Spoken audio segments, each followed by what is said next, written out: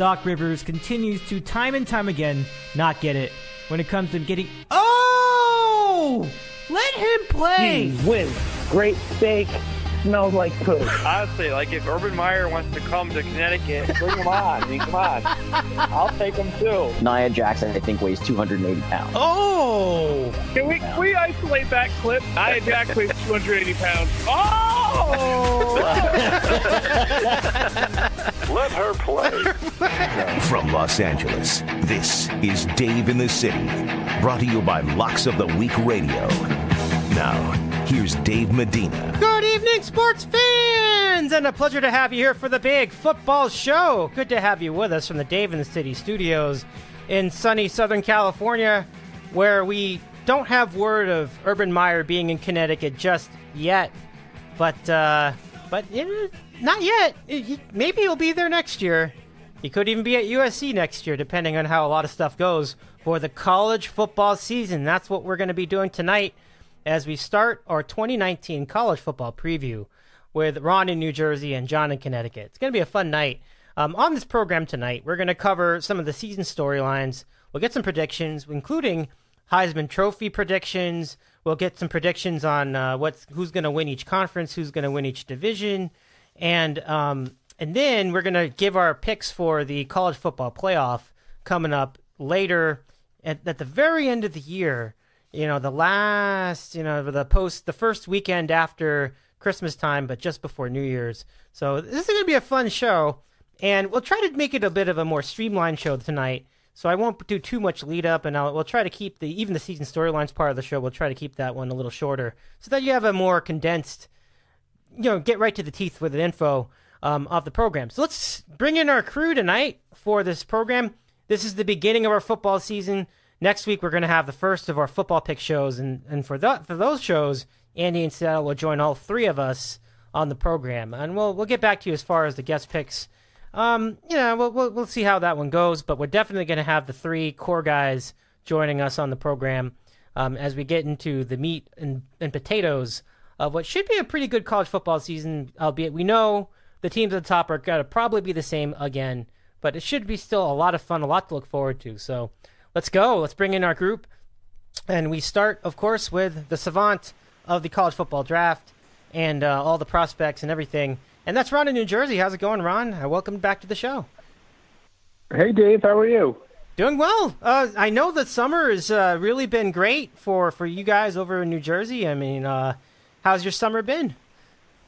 Yeah, yeah. We've had uh, pretty decent weather. Uh, you know, no complaints. Uh, some storms here and there, but uh, it's flying by. I can't believe uh, we're, we're sitting here on a, a Tuesday in August, uh, getting ready for college football, and actually having a game this weekend. It, it, it blows my mind. Uh, it seems like yesterday we were talking about, uh, you know, the the college football playoff, and you know, Clemson and Alabama, and here we are again.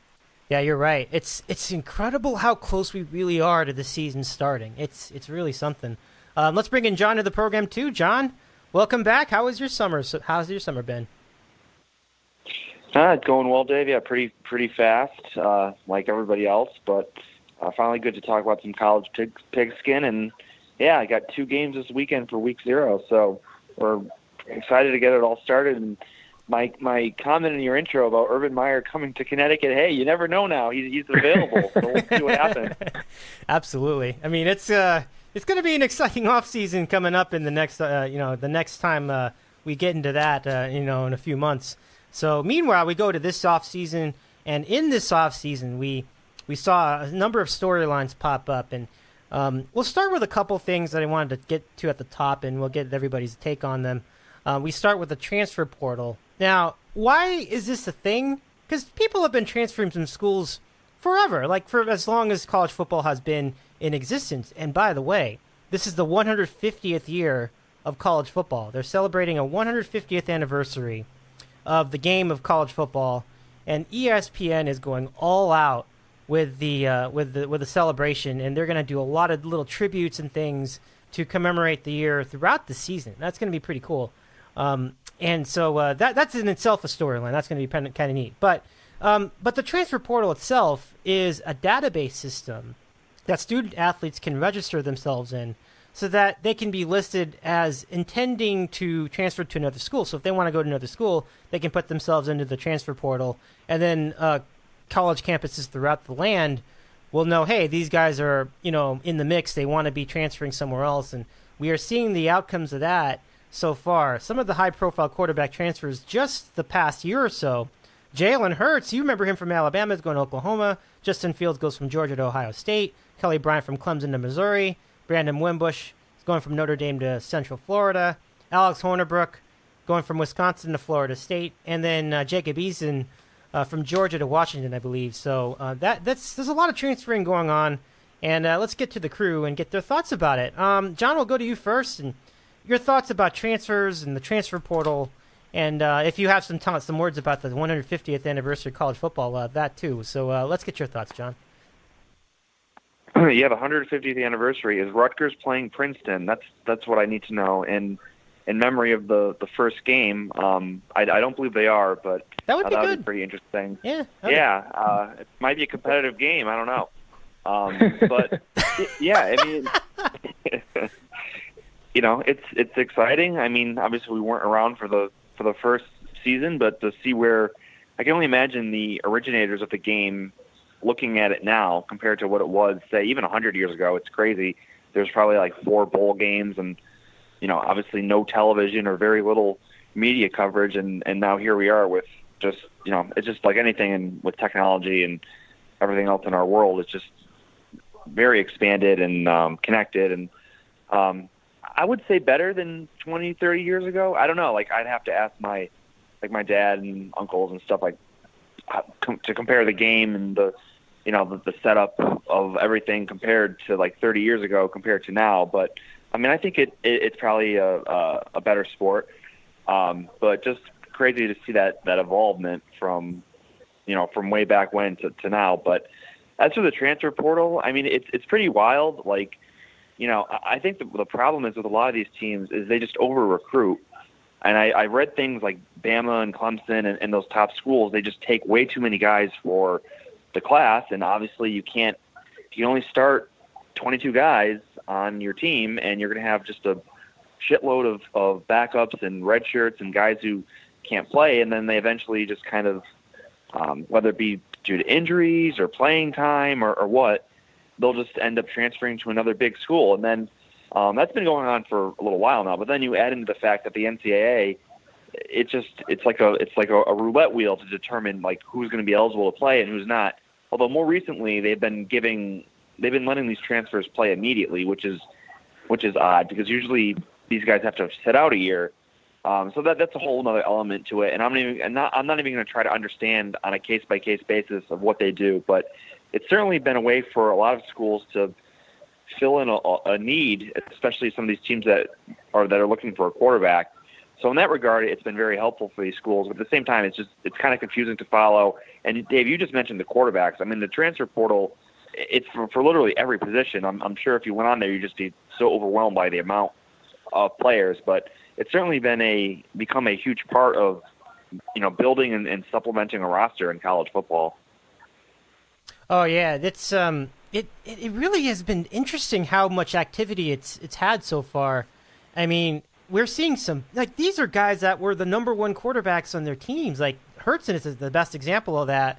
Bryant too, and and it has given these guys a second opportunity. And I think your point where you were saying that it's because of over recruiting, I completely agree with that. I think you know they're just it's like a it's almost like a it's too, they've been too good at recruiting these guys, and so you get such scenarios where they'll get an, actually a chance to get some playing time. So it is very interesting, but it does create some some odd turnover as well. So uh, all in all, it certainly makes the offseason much more interesting than we've remembered in the past. So uh, Ron, let's get your thoughts on those two topics as well.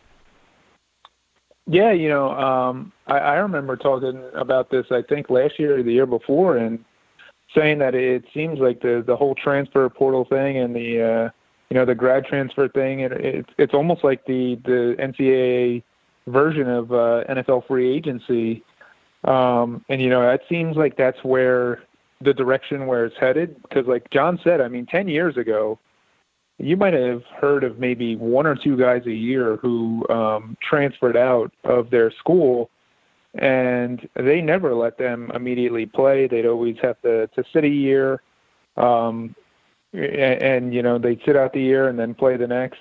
And it seems like the past, uh, even the past two or three years, uh, in particular, the, I mean, the NCAA is, is granting the the hardship waivers for immediate play. Um, you have guys who uh, will either lose their job or, um, you know, just not see uh, playing enough playing time in their opinion, and and they're transferring out, and you know they're taking advantage of the system and, and how lenient the NCAA's become, and uh, and it is it, it it's like a, a whole new um, level of recruiting for you know the the top teams. They can go and uh, a team like you know Oklahoma who loses a quarterback. Uh, and they could go and plug in uh, an, an you know an NCAA title winner uh, because they lost their job at Alabama. So it's it, it's it's that you know plug and play that's that you know all the top teams are, are starting to really take advantage of and.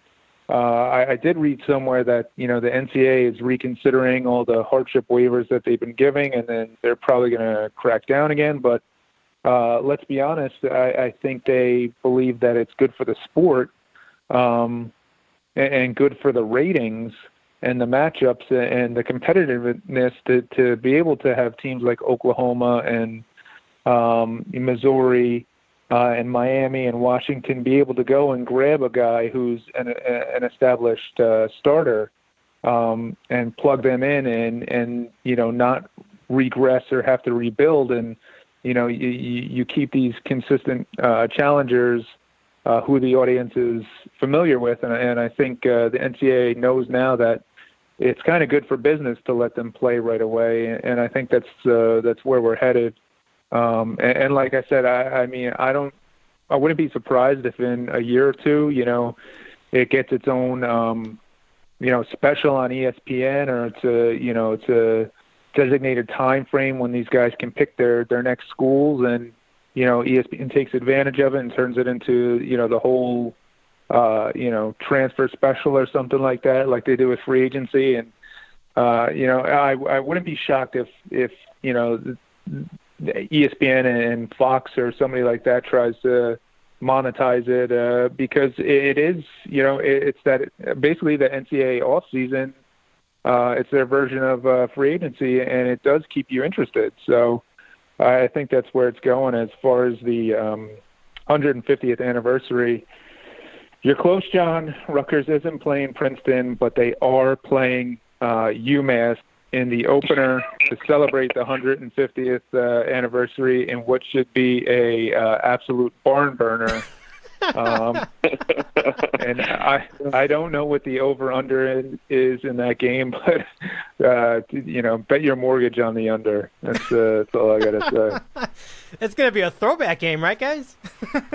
Yeah, yeah, yeah. I saw that they, uh, um, you know, especially I think it was Under Armour released a bunch of, uh, you know, uh, throwback design uniforms for for the teams that they uh, that they outfit. So it's just another way for you know the the the apparel companies to to make a buck off of that and you know, good for them. I mean, really, who cares if it's the 150th anniversary or, or what? I mean, uh, we're going to watch regardless, right? Yeah, you're right. You're right. You right times two on that. Um, so let's uh, continue our coverage, and we go to the the coaching ranks. And it almost felt like there was a transfer portal of their own going on uh, there with the coaching. You got a bunch of coaches in different places, but some familiar names. And, uh, and my theme here is familiar coaches in new places. And the most notable ones, uh, the, the, the shocker I think was Les Miles going to Kansas. That that that, that just seemed to come out of nowhere. Um, Ryan Day, not really going in a new place. He's just getting promoted in Ohio State. Mack Brown, we talked. I think we talked about that back in December, going to North Carolina. Dana Holgorsen going to Houston. Hugh Freeze at Liberty, and then Manny Diaz having the um, Temple job for a day, and then he just bails on them to go to Miami. It's kind of a mess. So uh, uh, let's go to you, Ron, and get your thoughts on the coaches, new coaches in new places. Yeah, I mean, I to be honest with you, I don't get the Les Miles and the Mack Brown hires. Uh, you know, even in the NFL, right? I mean, the the the way that the football is, is going is a complete completely different direction than you know 10 15 years ago and uh and it does seem like uh, guys like Les Miles and, and Mack Brown are just they're out of the loop. Um, and I know Herm, Herm Edwards, we made fun of him last year, and he, you know, had to put up a decent year, I guess, at Arizona State. But uh, I think you're going to see a regression there. Um, Lovie Smith uh, at Illinois has been a failure. Uh, bringing these old guys back uh, to the college ranks just it never seems to work, and uh, and yet teams keep trying to do it. Um, you know, in, in the case of Les Miles, I mean, I guess you can't blame Kansas because they've literally tried everything uh, the past 15, 20 years and, and can't develop a winner. So, you know, why not try to get that uh, flashy name out there to to see if they could bring in a couple recruits or two or sell some tickets. So, uh, you know, I, I get it from that standpoint, but I don't think you're you're going to see him build Kansas into a uh, uh, competitor um, anytime soon. Um, I, I think that the person who came out of this to, in the best shape or, or did the smartest job was Dana Holgorsen Because really, if you think about it, I mean, he uh, lost a ton of talent at West Virginia and uh, was really, you know, going to be part of a rebuilding year this year there. Uh, and another seven-win season, seven or eight-win season, which was probably best case scenario, and he probably would have been fired. So he actually uh, leveraged that uh, and, and went back to his old stomping grounds in Houston, where they have a pretty stacked uh, roster and, and a lot of talent and, and a winnable AAC. Uh, and he went from probably being fired at the end of the year to being able to take over, uh, you know, the, a non-power five team and uh, possibly bring them to a New Year's Six bowl. And who knows, you know, he, if he uh, is consistent in the next couple of years with Houston and, and develops them into uh, you know a contender for that New Year's Six bowl for the next couple of years, he could be right back in the same spot he was before West Virginia, where he's uh, he's thought of as uh, you know uh, an offensive guru and you know getting looked at for bigger jobs. So I, I think he uh, you know had the best strategy and you know really pulled one over on uh, uh, on everybody out there, and uh, he put himself in a great situation. Yeah, you're right. That's a very savvy move by Holgorsen, and he's got an interesting spot over at uh, at Houston as well. We'll get into that when we get to our AAC preview. Um, uh, John, let's get your thoughts on the on the new coaches or quote unquote new coaches. Yeah, I completely agree with Ron. I mean, it, you know, it just it's not to say the game has passed these guys by, but it's just I don't know. There's just a certain edge to having like someone who's been in the game recently as like a an offensive coordinator or even as a head coach like just the previous year, that's one thing compared to bringing someone back who hasn't coached in college football in three, four, five years. It just never seems to work, and um, I, I don't see it working with Les Miles or Mack Brown. Um, you know, maybe Miles can get them to 500. I mean, that's the best case scenario.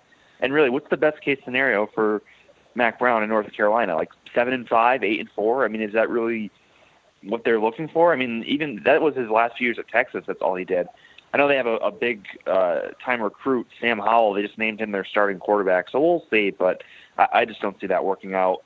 Um, you know, Manny Diaz was, like you said, Dave, at Temple for basically a day, and he comes back to Miami. Um, obviously, he knows the roster and um, knows what it takes to to run that program because he's been there the last few years. But obviously, his first time as a head coach um, we'll we'll see how that goes. His first game this weekend, obviously, in, in the Week Zero game against Florida, so that'll be interesting. Um, yeah, I, I agree about Holgorsen. That was a good decision. I mean, they lost everybody from last year. Will Grier was gone. Their top receivers were gone. Their top running back was gone. So they were they're in for a rough year this year. So um, he, he got out when the go when the getting was good, and goes to Houston with an incredibly explosive quarterback D'Eriq King, um, who could be in the Heisman contention if he were to you know, he's going to put up incredible stats because their defense is horrendous. Um, but I don't know if they'll win enough games. But that was definitely a good move on his part. I actually think West Virginia made a great move in replacing him with Neal Brown from Troy. Now, obviously, like I said, this year is going to be pretty tough because they lost everybody, and um, it's it's it's going to be rough for them this year. But I think long term, I think that was a great hire. He did a phenomenal job at Troy, and um, I think you could see him doing the same kind of thing in a couple years at West Virginia. Uh, also in the Big 12, you had uh, Matt Wells coming over to Texas Tech from Utah State. Uh, he did a great job at Utah State. I don't really know if he has any Texas ties. I'd have to look into that, but we'll, see if what he can do down there. I think that was a that was a smart hire.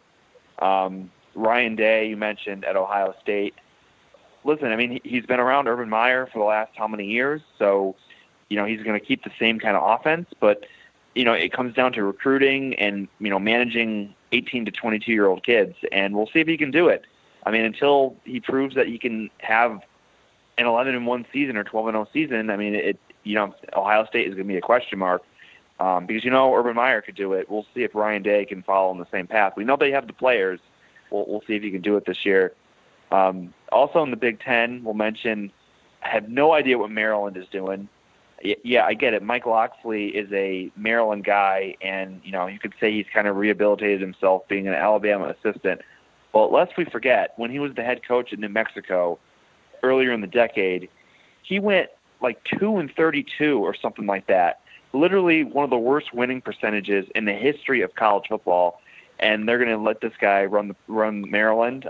We'll we'll see what happens with that. I'm not too optimistic uh, about Maryland's chances uh, with Locksley. I guess he's a great recruiter, so we'll, we'll give him that. But um, you know, his, the record speaks for itself. We'll you know we'll see if he can improve on that. If he if he can, he'll be out in a couple of years. Um, let's see here, a couple of the Group of Five teams that I'll mention. Um, yeah, so Temple loses Geoff Collins to Georgia Tech. I think that was a good hire on Georgia Tech's part. I was kind of skeptical of when he went to Temple, but he really did a good job of keeping things going, and I think he'll do a good job at Georgia Tech. The problem is, obviously, they ran that option for years, and now they're switching to a spread, and they don't have the players. So this year is going to be really tough for them, and they play at Clemson the first week. So uh, good luck uh, with that for your opening game. But I think in, in due time he'll get things turned around. But this year is going to be a challenge, obviously switching from those schemes. And then Temple replaced him with uh, the former Northern Illinois coach Rod Carey, and I think that was a terrible hire. Uh, Northern Illinois has had no offense the last few years, been kind of winning with smoke and mirrors, and I just did not like that hire at all. Being a rival team in the AAC East, at least for one more year anyway, before uh, we we UConn test the independent waters. Um, I, I think that was a terrible hire by Temple. I think they're going to regress with him, in my opinion. Um, but I, I did not like that hire. Uh, East Carolina went with Mike Houston from James Madison, who just won a national title, I believe, two years ago. I think they're the only team other than North Dakota State to win a national championship in the last five or six years. So great hire by them, and uh, we'll see if he can get things turned around there. Certainly, uh, you know, he had great success at James Madison, and we'll, we'll see if he can um, do the same at East Carolina. Uh, I think that's all I want to mention. Uh, Okay, one more. Um, so Louisville gets the App State coach Scott Satterfield to clean up the dumpster fire that Bobby Petrino mess. Uh, Bobby Petrino, Petrino left a mess at Louisville. Uh, they just quit last year. You could see that towards the end of the season. So they definitely won't quit on Satterfield, at least in year one anyway. Don't know. There's probably not too much talent on the roster, but he did a phenomenal job at Appalachian State. And um, I think he can do the same at Louisville. But again, it's going to be a couple of years for, for him to get that system in there. Uh, there's some other ones that I didn't mention, but um, those are just the, the main ones I wanted to touch on. We can mention a few of the others when we get into the conference previews. But pretty interesting coaching coaching cycle. I mean, there wasn't any truly like huge moves um, because I don't think any of the big programs really came open other than Ohio State, and then they they obviously promoted from within. So uh, we'll see how these these new coaches play out. There's always going to be a few duds, always going to be a few that shine, and it's always uh, fun to follow. All right, uh, let's go to Ron and get your thoughts on some of the other new coaches in uh, in um, around uh, college football this year. Yeah, you know, uh, John did a great job. I agree with uh, with what he said about Satterfield uh, at Louisville. you know, I, I think he's and and even Neil Neal Brown at West Virginia, and he's right. I mean, these are two uh, you know really good coaches who you know, did a lot with a little uh, where they came from, and and can be real program builders. But uh, uh, it's going to take it's going to take a while. And uh, and I agree with him about Collins at Georgia Tech too. I mean, Georgia Tech is almost. Um, you know, it, it's it's such an abnormal situation because they ran such an archaic uh, offense for years and years and years um, that they finally bought in someone who's not going to run that offense, and they basically have to re rework the entire roster to to have kids in there that uh that fit the, the you know the new spread offense. I mean they basically haven't had a true quarterback in I mean how long? What's what's the last Georgia Tech quarterback you you can remember who actually you know made it to the NFL? Um, so yeah, so I think they all have their their work cut out from them, uh, and, and you know I think they got to be careful. And uh, and to Les Miles' credit, he he he you know he came out and said this when he took the the Kansas job. Um, you know, there's so much pressure on these guys to win right away, so they you know they they dip into the uh, JUCO uh, ranks and uh, and try to take as many uh, transfers, grad transfers as possible to you know, to, to stack their roster so they can win from day one and really uh, with programs that, um, you know, aren't true contenders and, and don't have that sustained recruiting, it, it sets them back years and years and years. And, uh, you know, Miles came out and said, you know, it's basically, you know, Charlie Weis ruined Kansas for, you know, for a, a decade um, because, you know, he basically gutted his, uh, you know the the recruits that were there and bought in a you know three quarters of his team were JUCO and uh, transfer guys who uh, you know played for a year, left, and then uh, uh, they didn't have enough spots to fill, uh, and, and it still reverberates today. Uh, uh, the, the coach before Miles, um, uh, I think Beaty, uh, David Beaty. Um, you know, he tried to to reverse it, and uh, you know had had a the first two or three years uh, were all uh, disasters. So he tried to to redo with what Charlie Weis did and bring in a bunch of uh, recruits and uh, JUCO recruits and, and transfers to to get a winning season and, and save his job. And you know that didn't work, and, and now uh, Les Miles is back at square one. Um, so it, it'll be interesting to see how these. You know, we know most of these guys are good coaches, but how they develop their uh, their rosters is really uh, interesting to, to look at. Yeah, definitely. Um, boy, where is Kansas going to go? They obviously have nowhere to go but up from this point on. So that'll be an interest. That'll be one to watch. Uh, you know, casually throughout the season. So let's just do some quick hitters and coaches on the hot seat. And Ron, I'll start with you. Um, who are your coaches on the hot seat this year? Uh, number one, uh, I would say Clay Helton at uh, USC. I think he uh, he needs a big time um, season to uh, to basically save his job. Uh, and it doesn't help that there's a guy like Urban Meyer out there, uh, you know, waiting in the wings uh, potentially. Uh, I, I, I think he's the first one on the list. Um, or you know, Chris Ash at Rutgers has to be on the hot seat eventually. I mean, he's like four and twenty-three or something like that, uh, and I I know, and he's he's you know he, he's terrible. I mean, there's no other way you can, you know, dice it. But, um, you know, I, I know the reason why he's stuck uh, around and they haven't fired him yet is because uh, he, he has, you know, millions of dollars uh, uh, left on his contract, and they really are hard pressed for money until uh, until that Big Ten uh, television contract kicks in. So. Uh, they've been reluctant to let him go, but he's got to be on the hot seat. Lovie Smith too uh, has to be on the hot seat. These guys have been uh, came in at the same time and have done absolutely nothing for their programs. Um, any other big time? You, know, uh, I'll say this. I think uh, he, maybe he's not on the hot seat, but uh, if Jim Harbaugh doesn't, you know, beat Ohio State this year, I think there's going to be a real groundswell at Michigan. Um, to change direction, uh, and, and maybe not this year, but uh, I, I think if he doesn't beat them this year, uh, you're going to hear the, you know, the the the chorus uh, get louder and louder, you know, next year for sure. That either he has to uh, win a Big Ten title and, and make the playoffs, or you know, just move on and try something else.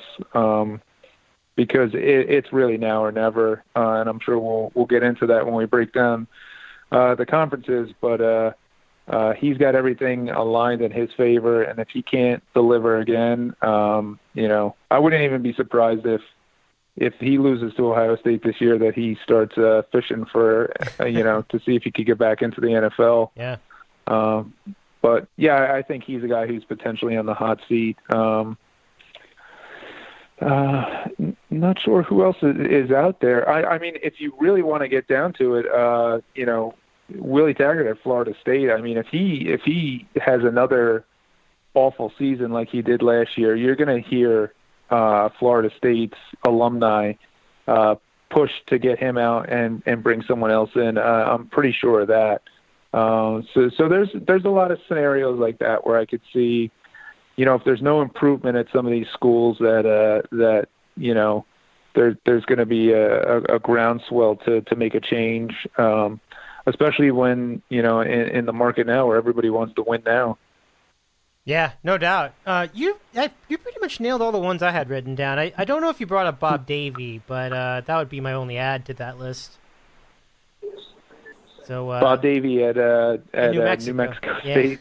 yeah, Yeah, New exactly. Mexico. Yeah, Uh, uh, didn't he get suspended or something like that, or uh, fined? I mean, what the hell is? I don't know How he still coaching? I, that's to what, I was going to say the same thing. I'm like, I can't believe he's still there. I, I I do not. You know, it's amazing that he uh, that a guy like him who can underachieve for so long uh, and keep a job. Uh, on on the flip side, uh, you got to you know Frank Solich um, at Ohio has been around forever, Mhm. uh, and Ohio's been one of the most you know consistent programs. You know, I know they're they're in the MAC, but they've been pretty consistent for the past five or six years. Um, and you never hear him get mentioned for any openings uh, at any any job. And I'm not saying that he should. Uh, you know, I think he's perfect at, at where he's at. But that that always uh, you know surprised me that you know he he basically built Ohio, which you know was a laughing stock for you know 20 plus years into a consistent contender in the MAC, and, and you still never hear his name pop up. Uh, yeah. uh, for any job opening. So he must have, uh, you know, he must have some skeletons in the closet somewhere Yeah. that uh, that that people don't want to dive into. Because uh, to me, that's that's just always, you know, you brought up Bob Davie, and uh, I immediately thought of uh, Solich because, you know, two guys who who failed at uh, big time colleges and you know picked back up at uh, smaller schools and. Uh, you know, both going in opposite directions, I guess. Yeah. Uh, John, let's get your thoughts as well on the coaches in the hot seat. Anything you'd like to add? no, you guys hit them all. My two ones at the major schools were um, were Willie Taggart and Clay Helton. So you guys nailed it. And I was going to say the exact same thing about Bob Davie. Like when I was reading about the teams earlier this summer, I said, "Oh my God, how the hell is he still there?" Um, so, you know, I could I could see a big quit factor with that team if they get off to a bad start, and he'll be he'll be gone by the end of the year. But um, yeah, I mean, obviously there's some teams on the some schools on the lower levels that might fire their coaches, but they they don't need to be mentioned. Um, I mean, if UConn has another one in 11 years, it's going to be pretty hard to keep Randy Edsall, but we'll, we we'll cross that bridge if it if it happens. But um, yeah, you got you guys mentioned all the ones that I wanted to I wanted to say. It, it's interesting. A lot of the, the big time schools just kind of either change coaches or they're on a good streak. So there's really not too many you know big names like on the hot seat. So those were the the two for sure that I was going to mention: Taggart and um, Clay Helton at USC. And then one thing that doesn't help Helton is that that early schedule is brutal. We'll get more into that in the Pac-12 preview, but but I'll but it's not gonna it's not gonna be easy for him to rebound this year uh, with the Trojans. So let's go to Heisman favorites, and we'll go back back to Ron and let's get your picks for the Heisman this year. Well, I mean, I think you would uh, be a fool if you said that uh, Trevor Lawrence and and Tua uh, uh, aren't the you know the co-favorites or you know one and two uh, out there. If you want to mention other guys who who could possibly challenge them, um, you know, depending on how they play, Jonathan Taylor, Wisconsin, who's been you know 2,000 yards a year. Uh, if if they turn it around and have a, a bounce back season, I could see him uh, being in the conversation. Uh, even Notre Dame, I, I think if uh, Notre Dame, if all things break right for them again, I think you'll hear uh, Ian Book's uh, name come up in the conversation. Um, Sam Ehlinger at, at Texas uh, seems like uh, you know has a little bit of Baker Mayfield in him with the uh, the trash talk and, and, the attitude. Uh, so I think you'll see him. Um, you know, depending on on how Texas responds this year, uh, you know, he he's going to be up there in, in in the mix for that stuff. Uh, J.K. Dobbins at Ohio State, uh, the running back. Uh, I, I don't really think um, Hurts is going to. I, I never thought he was a Heisman type player at Alabama. I, I, I don't think he's going to be that at Oklahoma.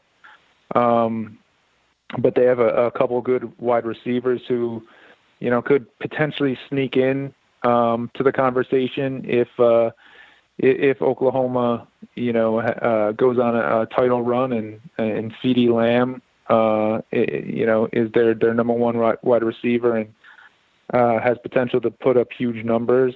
Um, outside of that, uh, let me think. In the other conferences, uh, obviously you have uh, Shea Patterson. Uh, if Michigan does finally pull off, uh, you know, a Big Ten title, uh, he's probably going to be in the mix. Um, and other teams in the SEC, uh, you know, you, of course you have uh, Fromm at Georgia, uh, who could be there, but you know, it, it's basically, in my opinion, it's uh, Lawrence or Tua.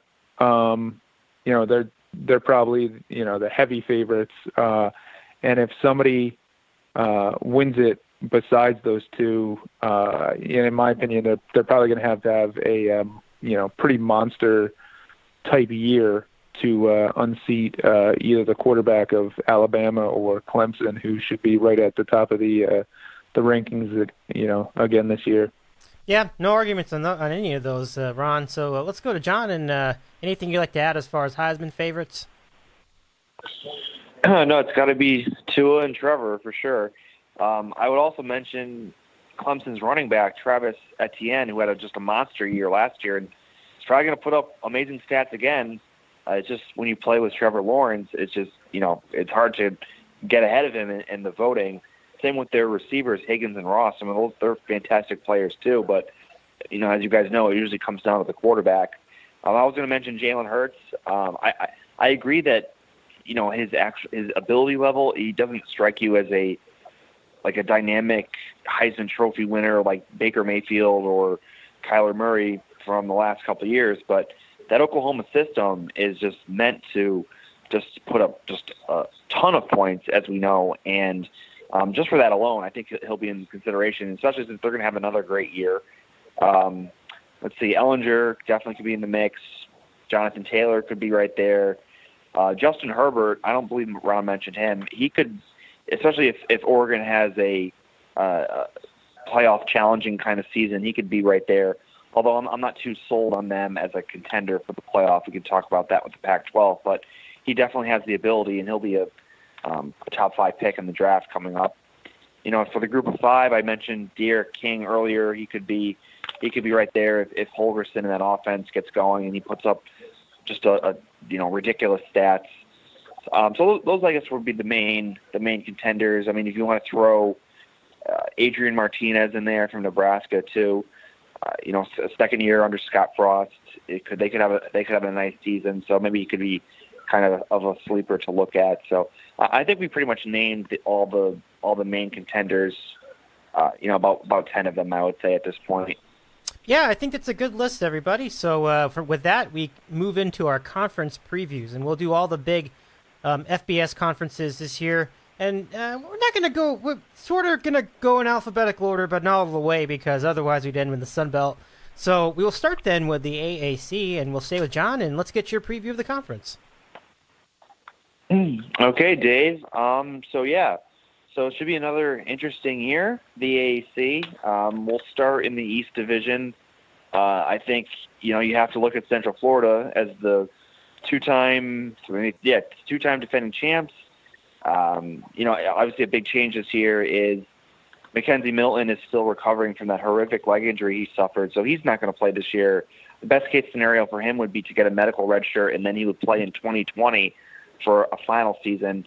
So this year they have Brandon Wimbush coming in from Notre Dame to to play quarterback, another one of those transfers like you guys talked about.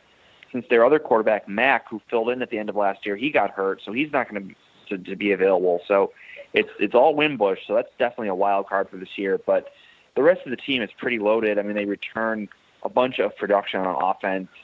Um, you know, McCrae, Killins, uh, Anderson, they they have a ton of of weapons um, to, around him to uh, to to have a good season, and their their schedule is they they play their non-conference schedule is actually decent this year.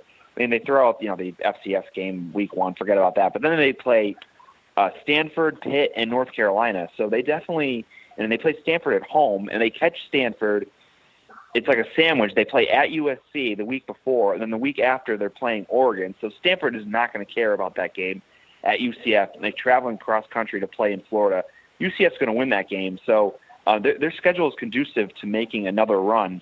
Um, you know, possibly going undefeated or 11 and 0, um, and making you know they're going to talk again about them making the playoff might happen if they if they go undefeated. So uh, there's definitely that possibility. Well, Wimbush obviously is the wild card.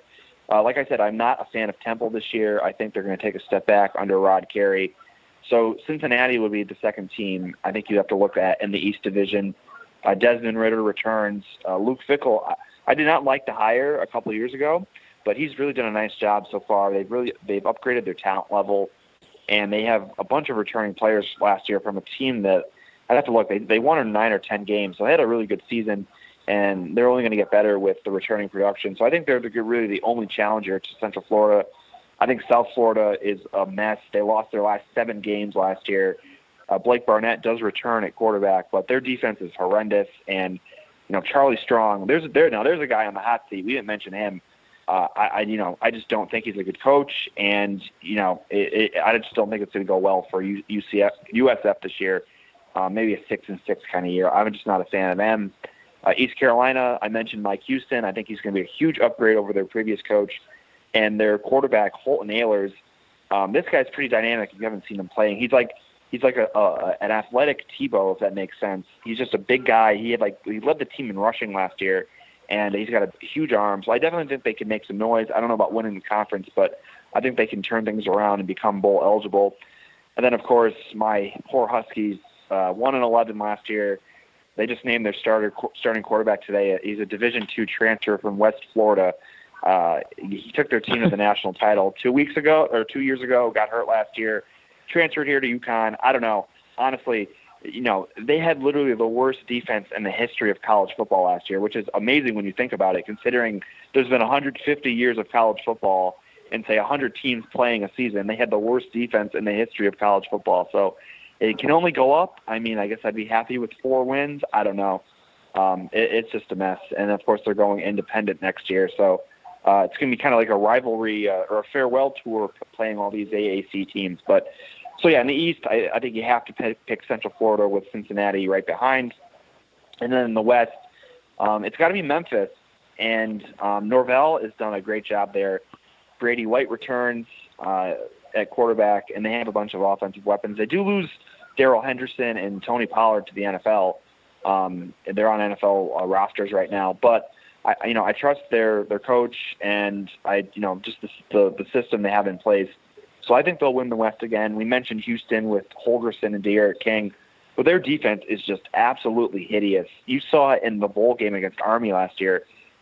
Again, like they they kind of gave up a little bit in that game, but they just got pushed around up front, and any team with a good defensive line or a good offensive line rather is just going to run right through them. So I, they're going to score a lot of points, but they're going to give up a lot of points too.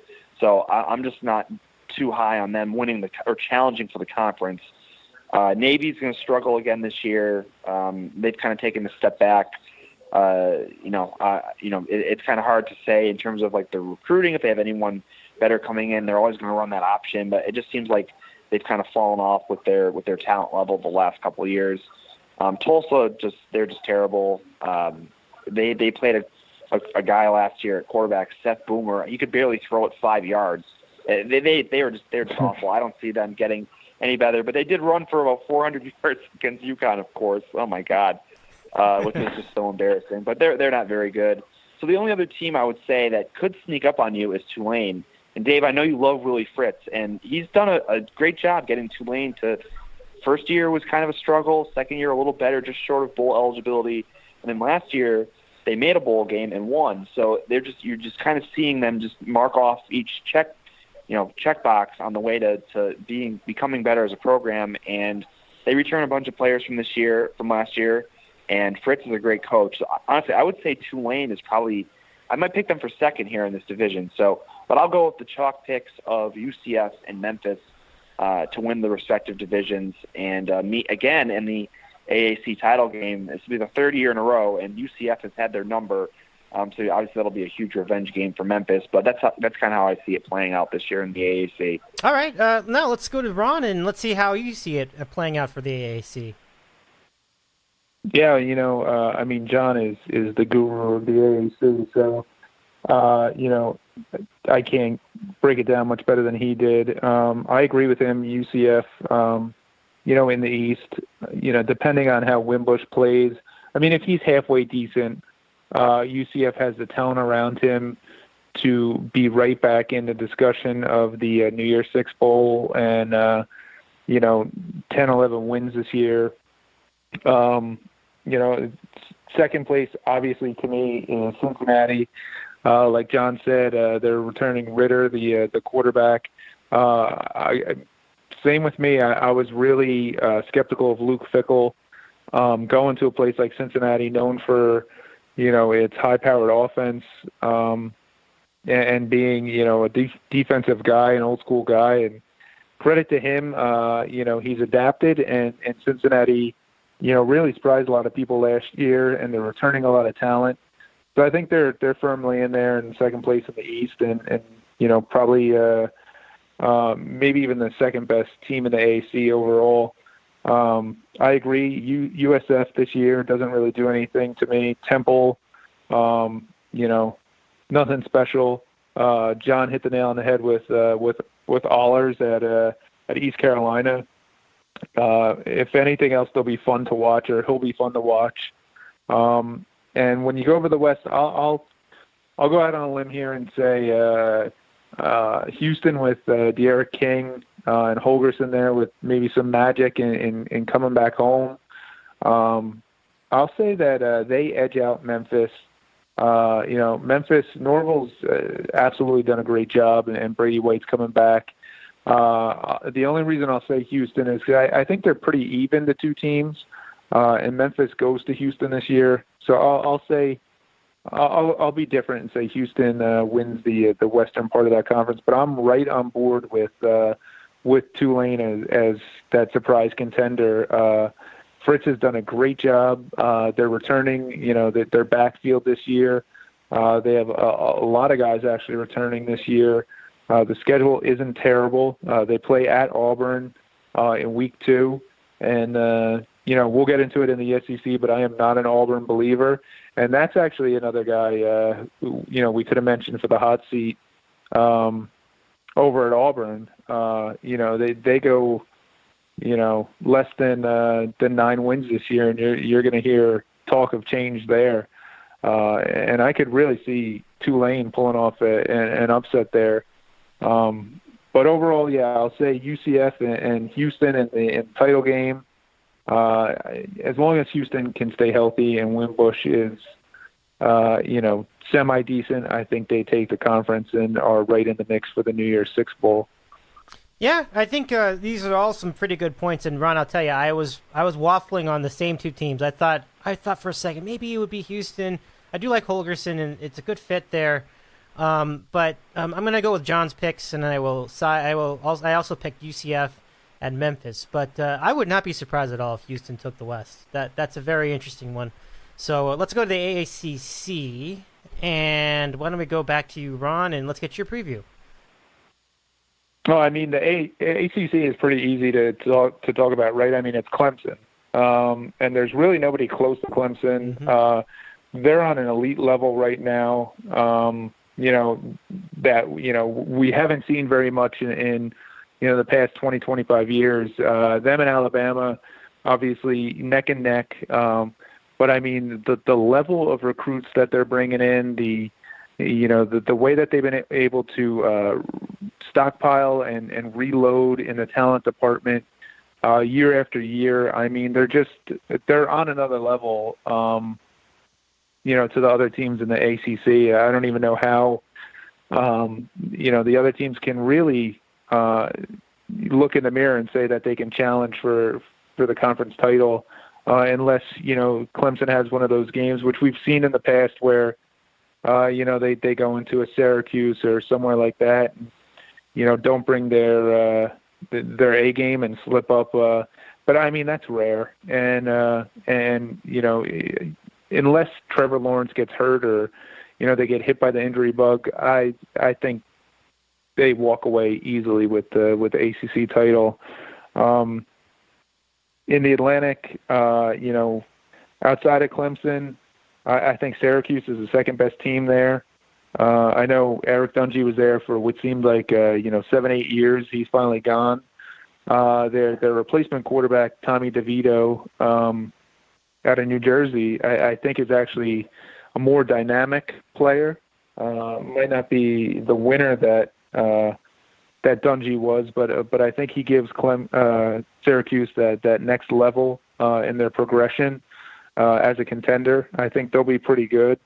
Um, the rest of the teams, uh, you know, I, I don't believe in Florida State. Uh, yeah, I think they'll be better than they were last year. Obviously, I mean, last year was a, a farce. You know, they had to schedule that 12th uh, game uh, that was canceled earlier in the season because of a, a hurricane. Uh, they had to reschedule that just so they could get bowl eligible, um, which was a pretty low move for you know for a, you know a, program that you know was one of the top five teams for about a decade or, or more. Um, and, and I'm just not sold on, on the quarterback uh, uh, situation there. Um, outside of that, uh, I think Boston College could be uh, in the mix for, for third place there. Uh, they they return uh, Dillon, the uh, uh, you know the All ACC running back. They have some weapons there. Um, Wake Forest should be okay. NC NC State should be okay. I mean, all these teams really uh, outside of Clemson and Syracuse, to me, uh, fall into the same category. Uh, you could see them uh, anywhere between five and seven wins. I think they're all interchangeable. Uh, and, and obviously the, the last place team over there is Louisville. I think they're going to really struggle this year, like John said. Um, you know, Petrino left it, uh, the cupboard bare there, and Satterfield really didn't have much time to recruit. So you're going to see some struggles there for, you know, at least the first year or two. Uh, over in the uh, the coastal, uh, to me, Virginia um, is the team to beat over there.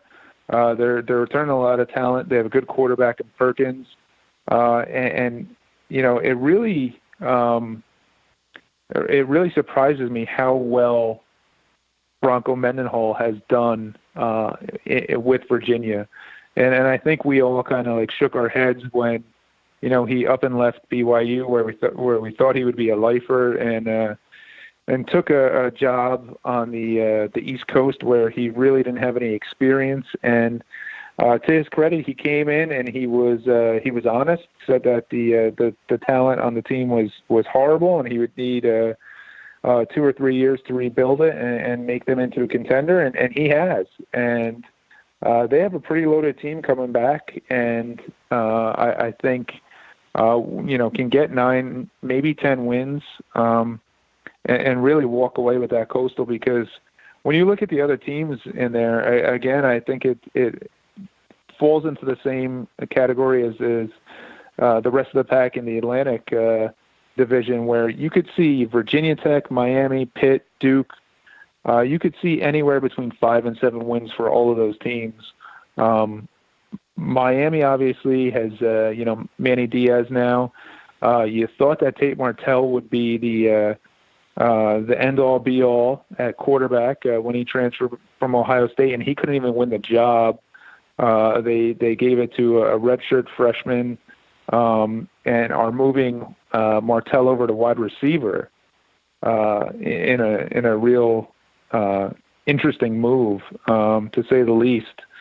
Uh, so you know, I'm not sure how how well Manny Diaz is going to be going to be able to do in that first year there uh, Virginia Tech too. And, and listen, I was the biggest uh, uh, Justin Fuente fan in the world, but I mean, you have to admit that uh, he struggled there, and the the turnover that they have at Virginia Tech in key spots like uh, uh, especially at quarterback, is is puzzling. I mean, uh, it seemed like every week this summer you would hear about a Virginia Tech player either getting arrested uh, and kicked off the team or transferring out. Um, so he's he's definitely you know th- there's something going on there, uh, and and it's keeping Virginia Tech from getting over that hump to being, uh, you know that that, you know every year winner in the Coastal Division. So uh, I think they struggle a little bit this year. Uh, Pitt is just destined to always you know win six or seven games and uh, pull off an upset or two and, and not get above that you know that level. Um, and, and the rest of the teams in there, Duke, North Carolina, Georgia Tech, uh, you know, they're they're all in transition. Really, uh, I don't see anything uh, surprising there. So I'll go with Clemson and Virginia uh, in the ACC title game, and Clemson uh, cakewalks to the uh, to the college football playoff. Oh, good picks there, Ron. I, I like them. Let's uh, go to John and let's get your thoughts on the ACC as well. yeah, Clemson's just going to walk a walk here to, to the title again. I mean, I think I saw that they're favored by at least 14 points or 17 points or something crazy like that in every game. I mean, no one's no one's going to challenge them, barring you know uh, just a huge rash of injuries or something like that. I mean, they're they're, they're going to walk away with this. Um, you know, just what they've stockpiled, even even though if you you kind of do maybe have some questions about what they've lost on defense, they just recruited so well that the next guys are you would expect they're just going to plug them right in, and it's just there's just gonna be no drop off. So, um, you know, they're, they're going to win easily. Um, as for the rest of the the Atlantic Division, I agree with Ron. Uh, even though they do lose Dungey, uh, Syracuse probably is going to finish second. Uh, Babers is just a great coach, and um, I, I trust his system, and I, I think um, they got they really got things going there. I think uh, DeVito will will be fine. He he got some action last year because Dungey is always hurt, and uh, when he came in and played, they they they were fine. So um, I think Syracuse will will finish behind Clemson, and then Florida State probably uh, they'll be a little better. The offensive line certainly can't be any worse, but I mean, is eight and four really good enough at Florida State for for Taggart to, you know, keep his job? Um, I don't know. We'll see, but. Um, they'll, they'll, they'll certainly make a bowl game and be better, but you know they won't be able to come close to Clemson. Obviously, uh, NC State just loses a ton of production from last year. So Ryan Finley is gone. Uh, their running back uh, Harmon, or I'm sorry, Meyers is gone. Harmon, the receiver, is gone. Mean, they lost everything from last year, all kinds of returning production. So, you know, we'll see what they look like, but they're going to take a step back after losing all those kinds of players for sure. You know, Boston College is your typical. You know, they're going to run the ball, play good defense, and they're going to go six and six or seven and five. I mean, that's Boston College in a nutshell. Uh, Louisville is obviously rebuilding, as we talked about, and Wake Forest. I, I kind of like them. They're, I, I mean, I'm not going to say they're going to finish like second in the division, but I definitely think they're going to be a bowl team. Um, they named Jamie Newman their quarterback yesterday, today or yesterday, and uh, he had he had a good finish to the season and in a bowl game. They play at one of the fastest paces in the country. If you've watched any Wake Forest games, but they're they're very enigmatic. Like they'll win a game by 40 points and then they'll lose the next week by 40 points. So very hard team to figure out, but they they definitely have some talented players, and um, I think they could finish in the like say third maybe in the division um, behind uh, Clemson, uh, and then like I'd say Clemson first, and then between like Syracuse and Florida State, Wake Forest, kind of two, three, four. Those would be my picks for the Atlantic. And yeah, the, the Coastal. I thought I was going to be going out on a limb with Virginia, but Ron's right on top of it.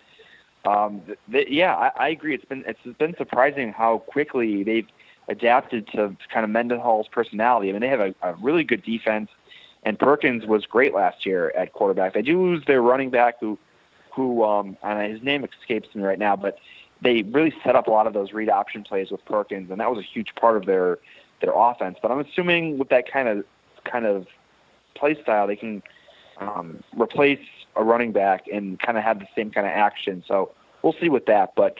Um, I really like how they've kind of taken like a, the the Mendenhall's like kind of tough persona, and I think they're going to win the division. Miami, I don't know what's going on there. Um, like Ron mentioned, they named this true freshman, a redshirt freshman, kind of the starter out of nowhere, and uh, they're they're you know moving quarterbacks to wide receiver, and you know not too great of a start for Manny Diaz. We'll see how how it goes when they play Florida this weekend. Uh, Virginia Tech, yeah, I mean, it, it's been disappointing with Fuente. Uh, their quarterback, I'm not a huge fan of, of Ryan Willis. I mean, he put up some okay stats last year, but when you watch the games, he just he just did a, a lot of turnovers at the wrong times. And there's just reports that Foster and Fuente really don't get along that well. And this is uh, Foster's last year, so maybe it'll be a, kind of a farewell tour for him. Um, but yeah, I'm not, I'm not too high on Virginia Tech. And then Pitt. The interesting to note about Pitt is they were this huge running team last year. Like they were one of the best rushing teams in the country. Well, they graduated or lose a lot of offensive line starters and both running backs. But they do return their quarterback Kenny Pickett, but they didn't really ask him to throw. But they bring in now as offensive coordinator Mark Whipple, formerly of UMass and some other teams, and he loves to throw the ball. So they're going to completely change their identity, which will be kind of interesting to see how that plays out and if and if Pitt will be able to to run that scheme. So um, I think they're they're going to be a bowl team, but nothing more than that. But just that that change in philosophy will be interesting. And then the final three teams: uh, North Carolina, Duke, Georgia Tech. I mean, throw them in a bag, shake them up, and you know however you want to do it. Duke probably will overachieve a little bit just because Cutcliffe seems to do a very good job um, with the t- his talent on hand. So they'll probably sneak into a bowl. Uh, and then I don't expect much from North Carolina with Mack Brown and Georgia Tech with Collins. Obviously, like we mentioned, going through the scheme change from the option to whatever the hell they're doing. I don't know if it's a spread or uh, shotgun pro style. I, I don't know. Whatever it is, it's going to be new. It's not the option, and it's going to be a struggle for this year. So I agree with Ron. Clemson, Virginia, and obviously Clemson will walk to the college football playoff. Obviously, you know, even if they were somehow to get tripped up and lose a game, and they just have that the the uh, they're built in, like they're kind of grandfathered in at this point. They have the benefit of the doubt. If they lose a game, they're going to be there. So uh, pencil Clemson in for the division for the conference championship and the college football playoff. Yeah, and and I I actually think that Clemson will lose a game this year. I don't think they'll go undefeated at all, but uh, but they will. But I don't think they're going to lose more than that. So from that standpoint alone, I think they're good. So I, I also have Clemson winning the Atlantic. I will defer from both of you. I will take Virginia Tech, but you guys are on top of this. I, I actually have liked Mendenhall's rise here and I I'm glad that he's built this thing up. I think that's pretty cool. So let's go to the Big 12 now, and uh, let us go to Ron and get your get your thoughts on that conference. Yeah, uh, Dave, I, I think uh, this year, like last year, comes down to Oklahoma and Texas. Uh, uh I think Oklahoma takes the uh, the conference.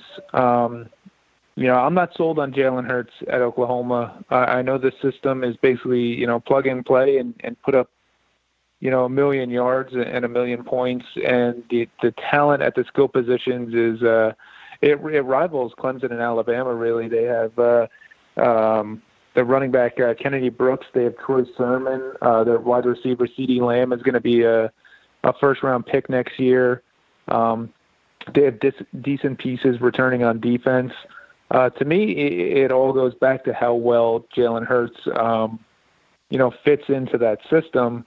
Uh, and, and I keep going back to Alabama, where you know he he did he had some big time throws and was a winner, but uh, uh, you know I, I go back to that uh, that spring game his last year, last spring. Uh, you know when when he's mic'd up uh, on ESPN or, or Nick Saban's mic'd up, and you know he he pulled down a uh, a pass and, and took a you know run for two or three yards, and uh, he comes off the field and Saban says, you, "You've been here for three years and you still can't uh, make the right read, uh, and and you pull it down and run." And uh, to me, that that's you know the epitome of, of Jalen Hurts is, you know, he's a guy who will lead your team to a win, but he'll do it in a safe way. Uh, and that worked at Alabama. I don't know if it works in this in this offense in Oklahoma. I'm a real skeptic.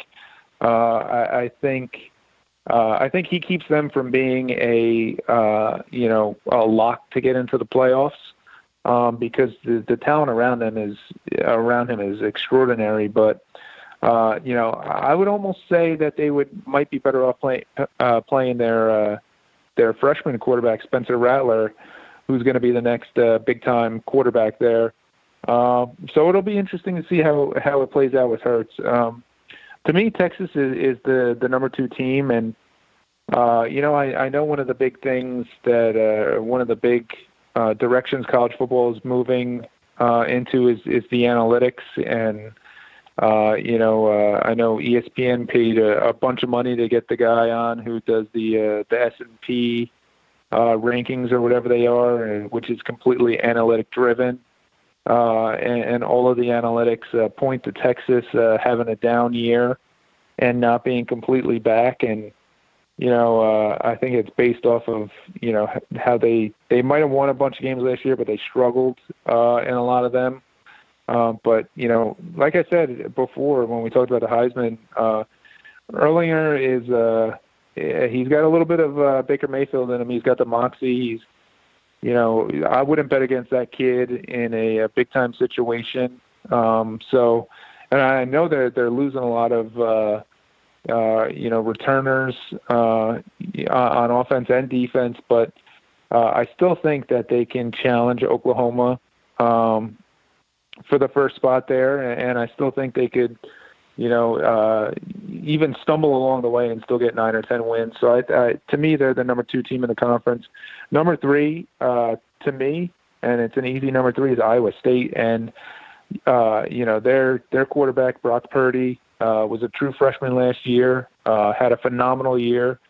They return a lot of uh, uh, starters, and uh, you can't um, dismiss the the job that Matt Campbell has done at, at Iowa State. And if you think about it, I mean, five years ago, uh, Iowa State is is a doormat. Um, you know, them and Kansas are, you know, neck and neck for, you know, maybe the two worst uh, Power Five teams in, in the country, and uh, and he's turned Iowa State around. And man, you know, if he doesn't get an NFL job next year, uh, you're going to hear his name at every big time opening in college football, uh, including USC if if it becomes available. I know he's a Midwest guy, but uh, he's he's been a real culture changer there.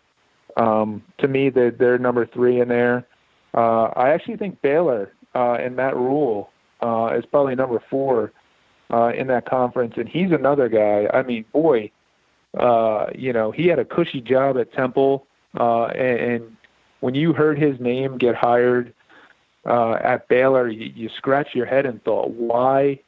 Where's the fit? You know, why would he take this? And man, he he took a, a roster that was uh, decimated after the Art Briles uh, scandal, and uh, immediately, almost immediately, has turned it around. And they have a great quarterback in Charlie Brewer. They have a lot of offensive firepower. Uh, I think he's completely changed the uh, um, the aura around the team too. I mean, you know, you had people who I'm sure didn't even want to watch a Baylor football game after what happened in the Art Briles era, and uh, and, now they're almost an underdog that you can root for again, uh, all based off of uh, off of Matt Rhule. So, uh, I mean, kudos to him, and he's another guy who's either going to be in the NFL next year or he's going to uh, catapult to a big time college football program. Um, so I like Baylor at number four. Oklahoma State uh, and TCU will probably um, round out the uh, the bowl eligible teams, in my opinion. I think West Virginia uh, and Texas Tech with their new coaches uh, have a down year. Uh, not as drastic as as a lot of other teams uh, bringing in new coaches, but uh, you know, five six wins tops. Uh, and Kansas State, uh, Kansas State too. They have they have a uh, a new coach there. Um, yeah, I, I think they'll struggle. And of course, Kansas with Les Miles. I mean, they best case scenario for them is, is what two wins. I mean, three wins would be a dream. Um, so I, I, I mean, they're one of the worst, you know, teams in college football, and uh, and I don't think that's going to change anytime soon. But I'll I'll take Oklahoma over Texas in the uh, in the title game, and uh, and they'll be right outside the picture of the, uh, the you know the college football playoff. All right, let's now go to John and uh, let's get your thoughts on the Big Twelve. Uh, yeah, I mean, I thought I was going to be different here with some of these picks, but Ron, he's he's right on top of things. Um, yeah, obviously Oklahoma, I think is where you have to start. Just you know, the system that Lincoln Riley has has established there, and um, I think Jalen Hurts will be able to run it pretty well, um, just because of all those weapons that he has around him, and just the play calling. Even if he's not as dynamic of a player individually as Mayfield or Kyler Murray, I think I think it'll still work out, and um, I think they'll win the conference. Uh, Texas obviously is going to be number two, and Herman he's just an odd coach. I mean, we've seen it for a number of years now, where he's the best underdog coach in the country, and then as a favorite, he just really struggles. And you know, looking back at last year, they won a number of one possession games, and I don't know if you can count on that again. I mean, you know, there's like you know the regression to the mean kind of thing. Um, so you know, we'll we'll see if they can kind of replicate that magic in some of these games. But um, you know, I, I agree that they're ahead of some of these other teams uh, for second place, and it'll probably be an Oklahoma Texas Big 12 title game again. But uh, I don't think I don't think they can challenge Oklahoma for the top spot anyway. But hey, the way the Big 12 works now, you just have to finish second, and you and you're in that game uh, at the end of the season, which is kind of kind of crazy. But um, it is what it is. Uh, completely agree on, on Iowa State finishing third. I think if things break right, they could even be in that that Big 12 title game. And who would have thought that um, a number of years ago when they were, you know, at best like a 500 kind of team every year, and now they're challenging for the conference title. Uh, Brock Purdy is great, like Maron mentioned. They do lose Hakeem Butler and David Montgomery, who might be you know stars in the NFL eventually, but, they're just really talented players, and so you lose two guys like that, it's going to hurt. But um, I think you know Campbell has done a, a, a great job, and you know we'll we'll see if he can plug in the next the next stars for for that offense. Um, but that will be a challenge for an adjustment. And I completely agree about Baylor and Matt Rhule. Uh, you know they were one and eleven in his first year, like going nowhere, and then last year just completely turned things around, got to a bowl. Uh, Charlie Brewer returns, Mims returns as top receiver, Ebner returns running back. So they're going to have another good team, and just the complete another year in that in the system, and just getting his guys in there. Just the the culture is completely turned around, and he's a he's a he's a really good coach and a team that you can wager, I think, confidently on for for a lot of these games. It's going to be competitive. So um, I, I like Baylor a lot too. And then I don't know what to make of TCU. I mean, they had so many injuries last year, and their offense was just dreadful. Uh, they get a Kansas State transfer, Delton, to to be their quarterback. Um, not sure how great he was. I mean, he had some decent games and is a, a, a good runner, but I don't know what to make of TCU. Um, they'll always have a good defense with Patterson, but it just seems like they they're not going to be able to challenge the top teams. Same with Oklahoma State. They're going to have a new quarterback this year. I believe they have a Hawaii transfer that could be the starter, Dru Brown, but I don't think they've named their starter yet, so we'll wait to hear about that. But their offensive coordinator came from Princeton, which is interesting to note. That's, I guess he's a real young guy, and uh, Gundy has an eye for finding these young coordinators, so uh, maybe he'll be a name to, to kind of look at going forward. And then Texas Tech and West Virginia, either or, um, you know, both starting over with new coaches. Uh, West Virginia has an Oklahoma transfer, Austin Kendall, who was the backup last year. He'll be their quarterback. And uh, Neal Brown, like we mentioned, I think he'll get things turned around eventually. Best case scenario for them this year is probably like a six and six lower level bowl, but that would be a success considering all the the offensive players that they lost from last year and a new coach and everything else.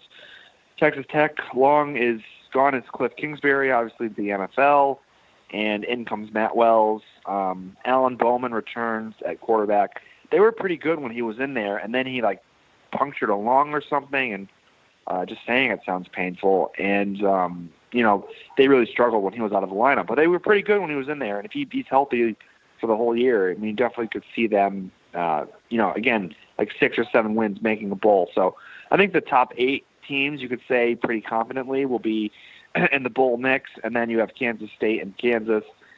Kansas State is interesting because you know it's no more Bill Snyder, and you have the guy that was at North Dakota State, Chris Klieman. But again, you know, did he just kind of benefit from what Craig Bohl did all those years and like kept it going, like off his players, or is he really a genius that took it to the next level? I don't know. We'll see.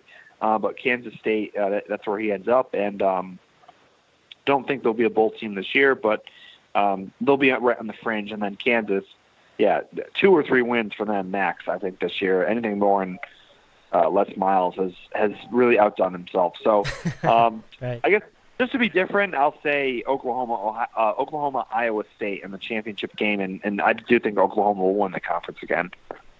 Okay, uh, so you have Oklahoma over Iowa State. We don't have division, so that, that that's very good that you guys uh, make that specific.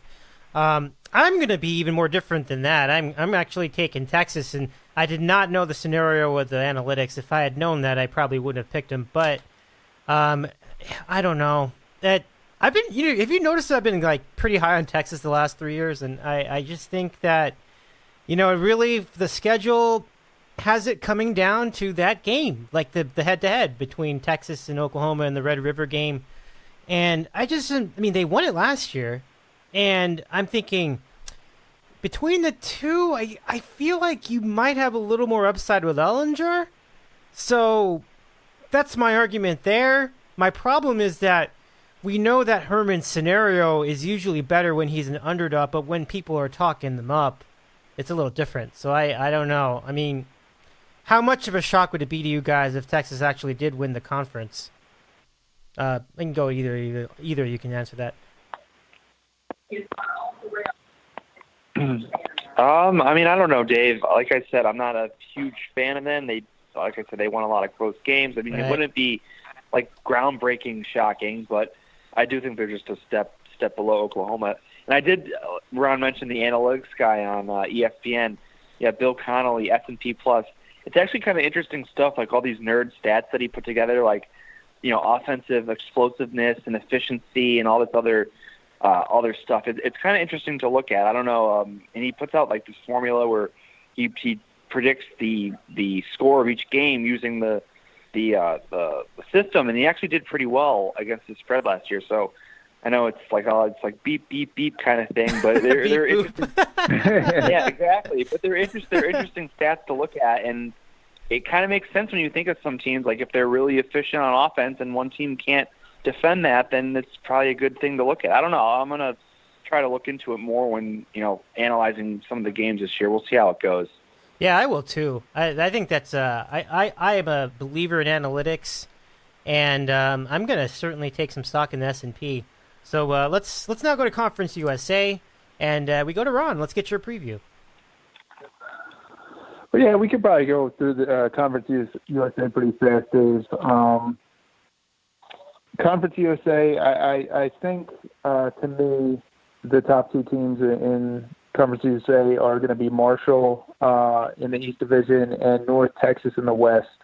Uh, if North Texas had any semblance of a defense, uh, and they did play better a little bit uh, down the stretch last year, I would even say that they they could challenge for a New Year's Six bowl, but uh, realistically, that's not going to happen. We know they're going to lose three or four games, uh, you know, that are going to be shootouts. But uh, the kid they have at quarterback, uh, Mason Fine, is, uh, you know, he put up prolific numbers last year.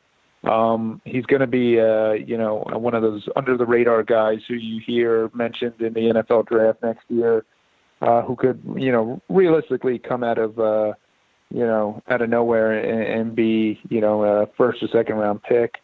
Um, the other teams, uh, Marshall, you know, Doc Holliday's been there for, you know, it seems like my lifetime. Uh, and, you know, they wanted to, there was something weird going on, uh, the past couple of years where, where the school president wanted to, to basically force him out, uh, but nobody else wanted, uh, him gone, uh, because he's an institution there and, and, you know, I guess they settled things and Marshall rolled along. Um, they have a lot of talent returning. Uh, I think the title game is going to be North Texas and Marshall. North Texas is going to win. Uh, outside of those two teams, um, yeah, UAB uh, had a magical year, year last year. They're losing a, a lot of uh, talent um, off their team. They they won 11 games last year. Uh, they they lose, I think, almost every single starter, but I still think uh, um, Bill Clark's done a, a great job there, and they have enough, you know, in the cupboard to to win seven or eight games and you know make a bowl game. Uh, Southern Miss too. Um, they have uh, you know uh, pretty good talent coming back. Uh, I think they'll uh, be right in the mix uh, uh, in that West Division uh, to to to challenge North Texas. Um, FIU, FAU, the Florida schools will be uh, uh, will be in the mix as well. And it'll be interesting to see how uh, FAU um, plays in, in Lane Kiffin's third year. Uh, you know, the bloom is kind of off his his rose. He kind of got magic in a bottle his first year, and then came back down to earth last year. Uh, so we'll see, you know, how it plays out this year. I, you know, he's another guy who you could see uh, if they underachieve. Uh, you know, he he gets the, uh, you know, the the itchy trigger finger and and might bolt somewhere else. Um, Middle Tennessee State loses a lot of talent, but they're always good for uh, to challenge for for bowl eligibility. Uh, so they'll be in the mix. Um, uh, who else? Uh, Louisiana Tech. Uh, they always put up a million points. Um, they, they should be right there, uh, challenging for a bowl too. Um, but uh, again, I'll, I'll go with my picks as being uh, Marshall and North Texas in the title game, and I'll say North Texas wins uh, Conference USA. Oh, North Texas! You, you have them winning the conference. That's that is you know they're an exciting team, no doubt. North Texas, absolutely. So uh, uh, very good. I thought you were going to go Marshall to win the conference. That's, I was a little surprised at that, Ron. I, I think you could go either way uh, there. I'll, I'll go with North Texas just, just because I think they're more uh, fun to watch as a team than uh, than Marshall, really. I would agree with that. Um, okay, let John. Let's go to your thoughts on Conference USA. All right, Dave. Um, so in the East, I'm going to be a little different. I'm going to go Florida International. Uh, Butch Davis has done a tremendous job um, building up the talent of that program, and we knew he would. And uh, they won nine games last year. They won a bowl game, and they're returning almost their entire team, plus the great recruiting class he had. So I think they're poised for another big season.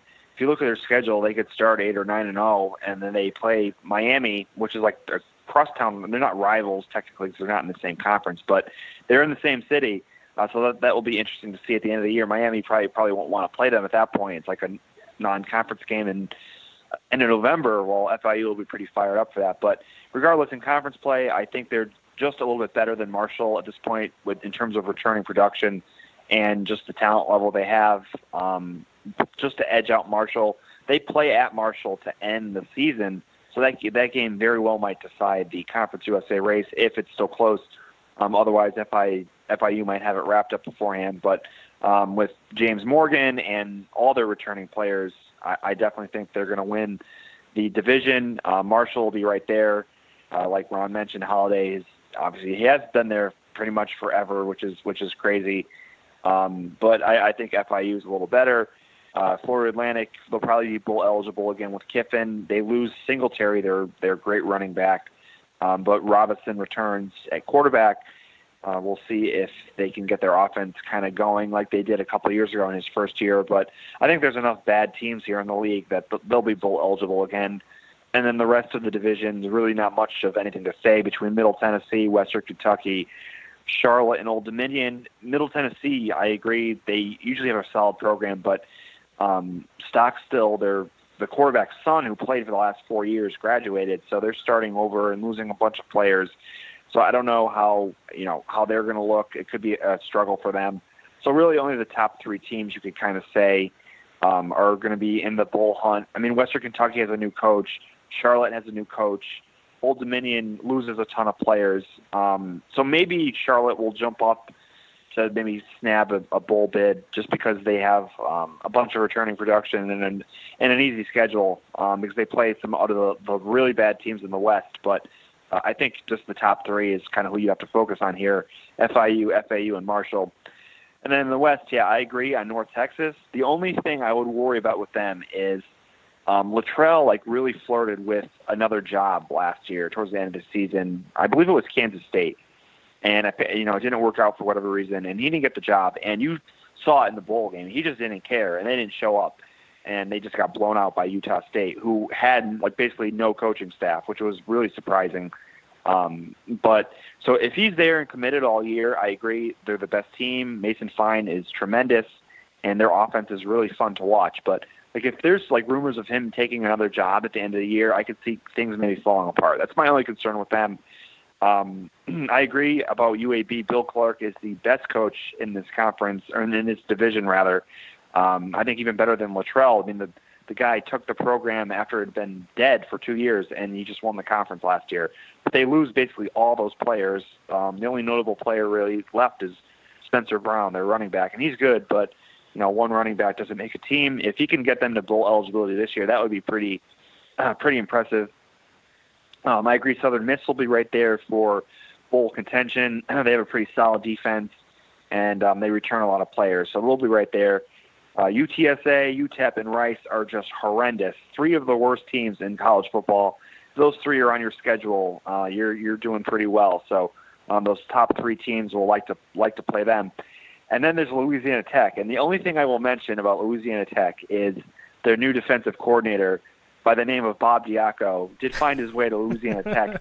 So with that in mind, I cannot predict them to do anything well this year. I don't care if they had good players. The guy's a fucking disaster. There's no way that they're going to they're going to be just his presence is just going to drag them down. So they're not going to do anything this year. They have a good connection, uh, quarterback to receiver connection, J'Mar Smith to Adrian Hardy, which is explosive. Skip Holtz is a fairly good coach for this, you know, for the conference. So he's a good Conference USA coach, but there's no way a, a team with Diaco is doing anything. So they're they're out. So um, to recap, we'll go Florida International and North Texas in the title game, and I'm going to pick Butch Davis and FIU to to win the conference. And my prediction is exactly the same. I have Florida International for the East, North Texas for the West, and Florida International to beat North Texas in the title game. So uh, Ron uh, goes Marshall, North Texas, and he has North Texas winning the conference for Conference USA. So now let's go to the Sun Belt, and uh, we're back to Ron. Let's get your predictions. Boy, the Sun Belt, we're uh, we're really reaching that. I know. we'll go quick, I guess. No, no, no, no. Sun, uh, the Sun Belt is, uh, uh, you know, it, it's definitely becoming almost on the, you know, the same level as a MAC um, you know, back when when nobody watched uh, MAC games, uh, and you had degenerates uh, like like ourselves who were, you know, tuning in to the uh, to the Tuesday night games and and you know becoming fans of. Uh, of uh, you know Marcus Childers or whoever the quarterback was on Northern Illinois, uh, you know, but it, it, it's become the same with with the Sun Belt because they really you know they've played like uh, uh, a really good brand of, of, or exciting brand of football the past couple of years. Um, so I'll say uh, again, I'll, I'll, do this quick in the Sun Belt. Uh, in the East, uh, I think the standard bearer is still uh, Appalachian State. Um, you know, I know they lost their coach. Uh, they lost a bunch of players. they returned Zac Thomas at quarterback. Um, Evans, the running back, is coming back. They got a lot of talent. Uh, I think the pedigree is there. Uh, so even though uh, their coach is gone, I, I, I think the, the talent is still there. Um, you know, I, I think they do uh, win that East. Uh, I would say though that Troy is right there with them. Um, Troy, if if Appalachian State is, is number one, then Troy is one A. Uh, you could you could toss a coin there. Uh, I'll go Appalachian State. Um, Georgia Southern uh, is probably the third uh, team in, in that uh, division. Uh, their quarterback Shai Werts is actually pretty fun to watch. Uh, does, does a lot of running, spread, you know, spread option quarterback um, who can put up points. Um, so I, I think they'll be decent. The other two teams in that uh, in that division, Coastal Carolina and Georgia State, are both uh, pretty bad uh, programs, pretty bad teams. Um, in the West, uh, Arkansas State is is there every year. Um, I'll go. You know, I'll go with I'll go with Louisiana to win the West. Uh, Louisiana has some playmakers uh, uh, on their team. Uh, Trey uh, Trey Ragas um, is coming back for them. Uh, they they won the division last year. Uh, I think they won seven games. They were at 500, but they won the division. Uh, so I'll, I'll go with them repeating. Arkansas State being right there, number two. Uh, Louisiana Monroe is, you know, could be an outside pick uh, to win that division. Uh, their quarterback Caleb Evans is uh, is pretty pretty good, especially for the Sun Belt Conference. Um, and the bottom two teams, South Alabama and Texas State, they're pretty, you know, pretty dead in the water, pretty uh, pretty bad programs. Um, really, I, I think you know you could flip a coin and pick any two teams uh, from each division and say that they could win it this year. But I'll go. I'll say a repeat of last year and App State and Louisiana, and I'll go with uh, Appalachian State to win the Sun Belt. Okay, so the Raging Cajuns for you, all right. Uh, Louisiana, very good. Uh, let's go to John and uh, let's get your thoughts on the Sun Belt Conference. yeah, I'd like to be different on this one, but I can't. Um, yeah, App State, until proven otherwise, is the the king of the the mountain here. Um, even with the new coach, I think there's just so much talent built in that's better than everybody else. That he he'd really have to be a terrible. He'd have to do a really bad job for them to lose this year. Uh, Zac Thomas and their great defense and their offensive line. It's they're just a little better than everybody else, and um, so they they definitely should win the conference. Troy is right there. Um, they do have a new coach as well, Chip Lindsey uh, comes over. Um, but they're they they Neal Brown left left him a pretty solid team, so they'll be there to contend um, as well. And they host uh, Arkansas State, Georgia Southern, and Appalachian State, which are some other contenders in the conference. So um, the the the Sun Belt kind of goes through Troy. Um, so that's that's a, a key key factor for them. Um, Georgia Southern's right there. They're uh, got into a little trouble with the law not too long ago. I guess they the the cops oh, that's right, yeah. like yeah, they thought they had like cocaine on his car, and it turns out it was like bird shit. So that's kind of uh, kind of interesting. I don't know how that happened, but hey, anything in the South, I guess. I don't know, but um, so they they're one of the, the teams that kind of run that run option spread option game, and it's interesting to watch. It's definitely a different style, but um, you know, I don't I don't think they'll be able to to beat App State or Troy. And then yeah, Georgia State, Coastal Carolina, um, not very good. Yeah, and in the West, I agree. Louisiana, um, they have a three-headed monster at running back. All three guys had um, at least 800 yards last year, and they returned their their offensive line. Their coach Billy Napier used previously worked with uh, Arizona State, and then before that, he worked on with Nick Saban. I think he's done a, a phenomenal job, and he's brought in a great recruiting class. So I think they're going to be the um, the top of the West Division. Arkansas State slightly behind. Uh, there could be you know, a very sad off the field story. Their coach's Anderson's wife just passed away from cancer. So that's you know it's definitely obviously he's taken a leave of absence from the team, but I mean who knows what kind of effect that's going to have on on their season. Um, so that that's definitely something to consider when when looking at them. And then the other three teams, yeah, Monroe has a good offense. Um, I don't know if they can challenge for the division, but they could could be bowl eligible. They missed out the last couple of years at six and six, so um, you know, they probably would need to get one more win to, to make a bowl. Texas State has a new coach. Uh, Spava, Jake Spavital was previously offensive coordinator at West Virginia, and um, that should be an improvement over what they previously had. I don't know how much better that will make them, but um, maybe improvement for them in a couple of years, but maybe this year might might be difficult. And then South Alabama, again, one of the worst teams in the country. With those three Conference USA teams I mentioned, and then UConn is probably the worst five teams in the country. So South Alabama, UTEP, UTSA, Rice, UConn. Uh, they should play a bowl game between those those five teams at the end of the year. That that would be interesting. Um, so yeah, App State, Louisiana for the title again, and um, you know I'll go with the chalk pick. We'll we'll stick with App State for the Sun Belt. All right, guys, uh, good predictions. My predictions are App State as well for the East. I will go with Arkansas State for the West, um, and then I'll take App State for to win the conference. So there it is for the Sun Belt. And now let's uh, get get into the Pac-12, and that North Division in the Pac-12 is going to be interesting. But let's go to the preview now, and uh, Ron, we're back to you for the Pac-12 preview. Yeah, the the Pac-12, uh, you know, I, I think we say this every year with the Pac-12. They're you know they're they're still struggling to find a true contender um or you know that that one breakout team that can uh rise to the college football playoff. Uh you know for so many years it was USC and then uh we we've seen them regress on their Clay Helton. Um Washington's basically picked up that that that the, the ball recently but haven't been able to uh get onto that level. Um and I think that we see the same this year. Uh, in the North, uh, you know, I, I, I still think Washington uh, is the class of the North. Uh, and I know that they lose Jake Browning and Myles Gaskin. Uh, but you know, it, we might see, and I know this sounds stupid, but uh, addition by subtraction when you lose those guys because their replacements uh, have a chance to be more dynamic and better. We we know that Gaskins uh, was hurt a lot uh, the past year or so and really run into the ground.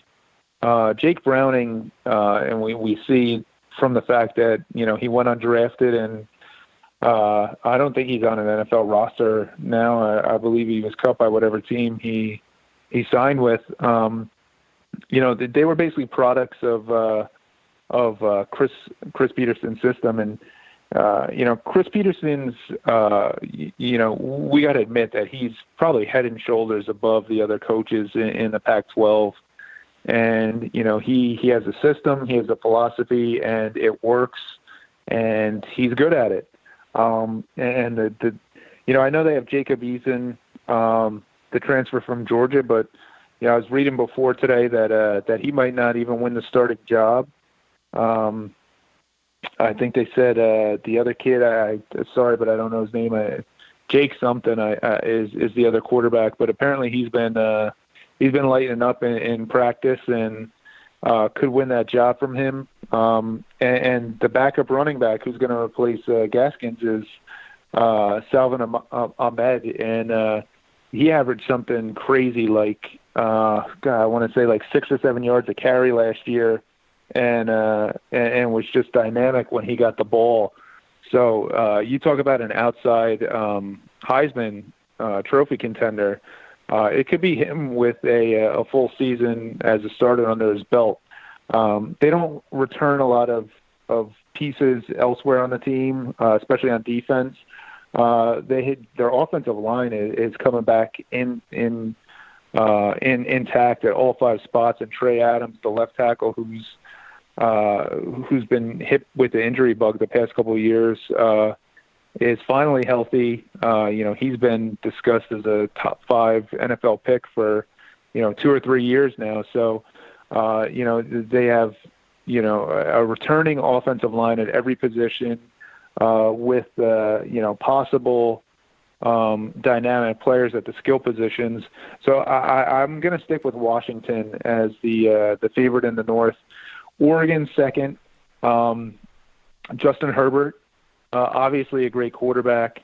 Uh, they the kid Thibodeaux, the um, the edge rusher that uh, was was ba- basically the top recruit in the country.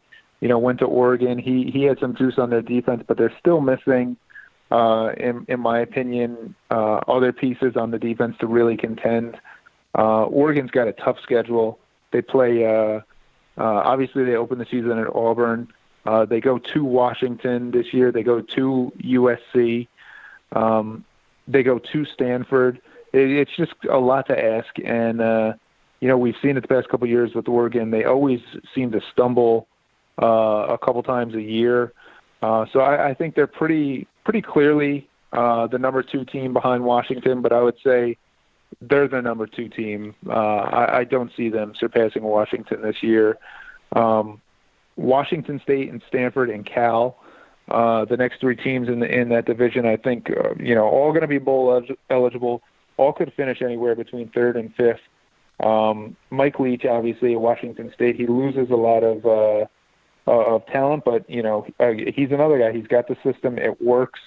Uh, they lose Gardner Minshew, but uh, but you know, it, it's basically plug and play in the in the in that system, and uh, you know, he's another guy. You know, that's another school that uh, they're good for you know one or two stumbles a year, but they're also good for one or two uh, big time upsets. So I think they'll be in the mix for the third spot. Uh, Stanford, uh, uh, Costello, the quarterback. Uh, I would say you know that he you know is is pretty underrated and. Uh, and and can change or has changed the dynamic of that offense. But then uh, I heard Mike Francesa saying the uh, I don't even know how he got into it, but uh, he said that he's his uh, favorite college quarterback. Oh no! uh, and criminally underrated, and uh, could be a first round pick next year. So. I would look for him to regress and probably throw, uh, you know, 15, 20 interceptions and Stanford uh, uh, go back down into mediocrity. But uh, you know, they should be good for for anywhere between six and eight wins. California, uh, you know, same with them. Uh, you know, it just depends on how the the schedule plays out, but they should be right around the six win mark and bowl eligible. And Oregon State, uh, you know, that that's just a bear of a job um, to to try and turn around, especially when uh, you have an institution like Oregon that you're competing with in state that you know can basically grab uh, you know every guy that they want uh, in the area, and Oregon State is is really left with. Uh, you know the the third and fourth tier players to to try to build a program around. Um, and on the south side, uh, to me, it's uh, Utah. Uh, I, I love this Utah team. I, I Whittingham is a really good coach. I think uh, I think Tyler Huntley is a, uh, a you know he's he's really underrated as a quarterback. Uh, they they return a lot of of starters on offense and defense. Um, I think they're going to be, you know, the top of that division. Uh, they can challenge uh, for the for the Pac-12 title. Um, outside of them, uh, second and third place to me, well, actually, the rest of the division to me is pretty mediocre. Um, USC has the talent to to be up there with them. I just, you know, we say it every year, but I just don't trust Clay Helton. Uh, you know, he he flip flopped a lot last year on, on the quarterback scenario. Um, you know, it, it seems like they have the pieces there, but can never put it together. Uh, you know, enough to to make a, a big time run. Uh, UCLA, you know, uh, Chip Kelly really underachieved last year. They they played better down the stretch, but uh, he's a guy who, yeah, I don't know. Uh, you know, it seems like, you know, five ten years ago we were talking about him reinventing the game, and now it almost seems like the game has passed him up, uh, and he's spinning his wheels. Uh, I don't believe in this UCLA team. I, I think uh, best case scenario for them is six wins and, and you know one of the lower bowls.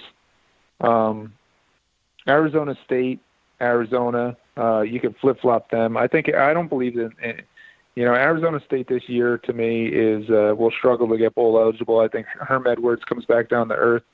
Uh, and Arizona is so weird. I mean, I remember talking about them last year on, on the program and saying that they could be a real contender uh, in the South, and because they had Khalil Tate, who was dynamic, and uh, Sumlin comes in and uh, he totally changes the way that that Tate plays.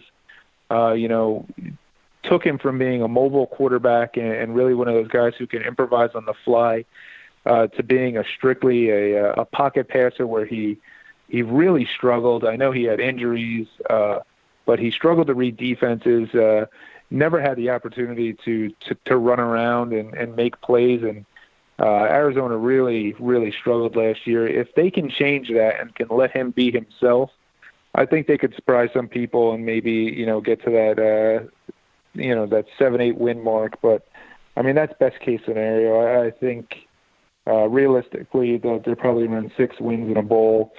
Um, and Colorado, they have a new coach, Mel Tucker.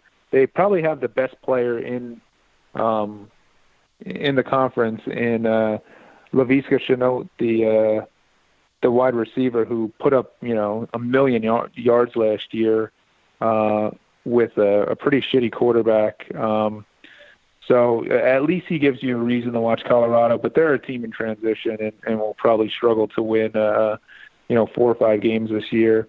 Um, so to recap overall, I say Washington in the north, Utah in the south, and I will go with Utah as the uh, Pac-12 champions. Oh, well, you know what? You're not the first one to make that prediction, and I, I think there's a lot of credence to Utah winning the conference. and because Washington's bringing in a new quarterback, I mean, it, it's not going to be a slam dunk.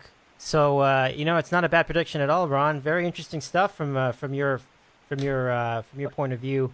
So, uh, John, let's go to you next and get your Pac-12 prediction. I mean, the South in particular is the very interesting one for me, um, and the North is the one, I guess, where it's a little bit more settled. But anyway, it's very exciting to look at. Uh, do you want to get my quick hitters on USC at, at the end of this, guys? Uh, I, I, can get I can provide that to you. But first, let's go to John and let's get your predictions for the Pac-12.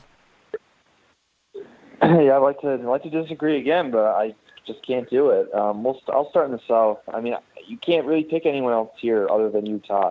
I mean, you you could pick USC, but again, you just you just can't trust Clay Helton. And I just looked at their schedule, Dave. You're right; it's just absolutely brutal. Um, so even if they have a, a really solid team and you know there's no injuries and he's coaching well, it's just a really hard schedule. Um, so that that's going to hold them back. So I, I think it has to be Utah. I mean, they still won the division last year without uh, Huntley and um, the uh, the running back that I forget his name, uh, that Moss that um, Ron mentioned. Yeah, so they won the division without those two guys, and now they're back. Um, and, and Whittingham is, is a great coach. So I think it's just it all sets up perfectly for them this year to win the division. And hey, if they if they somehow go 11 and one and win the conference, I mean they'll be right in the the discussion for the for the college football playoff. But um, their schedule, they have a couple tough games. They start at BYU opening night, and then they're at USC, um, and I believe they're at Washington. I, I'll have to check on that. But there's like three tough games that they had on the road, and then the rest um, were were very very winnable. But that doesn't mean that they can't win the division, even if they lose a couple of those, um, which I think they will. Um, USC, like I mentioned, that schedule is tough. I mean, they'll be a bowl, bowl team, but like eight and four, you know, that might not keep Clay Helton his job uh, heading into next year. Um, UCLA, I agree. It just with what, what Ron said about Chip Kelly, it just seems like maybe he's one of those guys that the game has maybe him by a little bit. I don't know. Um, he really didn't have too much to work with last year. It's his second year. Teams do make a big jump in their second year. Um, Dorian Thompson Robinson is, is returning for his quarterback, and they have a bunch of returning starters, like 20 returning starters, one of the most in the country. So if they can't improve this year, it'll be a bad sign. Um, they play at Cincinnati to open the season on Thursday night, next Thursday, so that's an interesting game to watch. And then, yeah, I agree. Flip Arizona, Arizona State, however you want. Um, Khalil Tate is pretty dynamic. As we know, he was hurt last year, so we'll see the healthy Tate will be able to kind of put up the same stats and, and plays as he did two years ago. And then Arizona State, um, I don't know, Herm Edwards again. I mean, you could see both of those teams being five and six heading into the game against one another, and the winner gets bowl eligible and the loser goes home. I can just, I can just see that happening again. Um, so yeah, just flip those two however you like. I mean, Herm Edwards, yeah, they lose N'Keal Harry, they lose Manny Wilkins, so those are two big losses. Uh, they'll have to replace um, heading into this year. And then Colorado, it will will run out the basement. Uh, Shenault is a great player, I agree, um, but there's just not much else there to, to compete. And in the North, I agree with Washington. Um, I just don't trust Oregon. I don't trust their coach Cristobal. I mean, they they're talented. They return a lot of players. Herbert is obviously very good, but with these same players last year, I mean, they laid a number of a couple of eggs that were just hideous, and then they they won their bowl game, but it was seven to six against Michigan State. It was just brutal, and I don't know. I just I'm just not. I just don't trust them. I trust Chris Petersen, even with losing all those players. I think Eason will be a good player for them, and they've recruited so well, and he just has the system in place that he knows what he's doing to win the division. And I, I think it'll happen again. He has Mike Leach's number at Washington State. I think they beat them like five years in a row now. And Leach, he'll, it'll be the same old thing. And they have another transfer from Eastern Washington uh, to play quarterback this year, Gage Gubrud, and they're going to throw the ball all over the, the field, and they're probably going to win their nine games, and it'll be a it'll be a fun time, and they'll pick someone off for sure. They'll have a big upset win, but um, you know, it'll, it don't think it'll be quite enough to, to win the division because it, Washington always beats them, and you can see the same scenario playing out again this year. Um, you know, Stanford Costello is good. Uh, you, you know, it was funny. You headed headed into last year thinking that, you know, it's Bryce Love, Bryce Love, Bryce Love, and he really didn't do anything. And Costello, they just they just threw the ball all over the place, and they had big, tall receivers. And um, he returns, and um, you know, they'll be okay. They'll be a good team, but not a, not a championship contending team for the conference. Uh, Cal probably has the best defense in the conference, but their offense is just hideous if you watched the Cheez It Bowl last year, um, maybe you should be glad you didn't. I mean, maybe the worst, the the best, worst, entertaining game in college football history, if that makes sense. It was like six overtime, or not. Sorry, not six overtimes. It went to overtime, but between the two teams, there was like seven or eight interceptions thrown between them and TCU. It was it was horrible. but it was entertaining. So it was one of those kind of games. But same thing, their offense is going to be dreadful. It's all about their defense. So I don't think an offense that bad can win the um, conference. If they ever had an offense, they'd be they'd be pretty good um, because their defense is legit. But uh, I just don't see any improvement from them on offense this year. And then Oregon State had the uh, they were the UConn defense of the Power Five. They had the worst defense in the country in the Power Five conferences, and even I don't really see that improving this year. So um, I'll I'll do the same as Ron, Washington, and Utah, but I will take Washington to repeat um, as Pac-12 champs because until someone proves that they can beat them, um, I'm going to stick with Chris Petersen. and um, even with all the the changes, I think by the end of the year they'll they'll be a solid team and um, they'll get it done.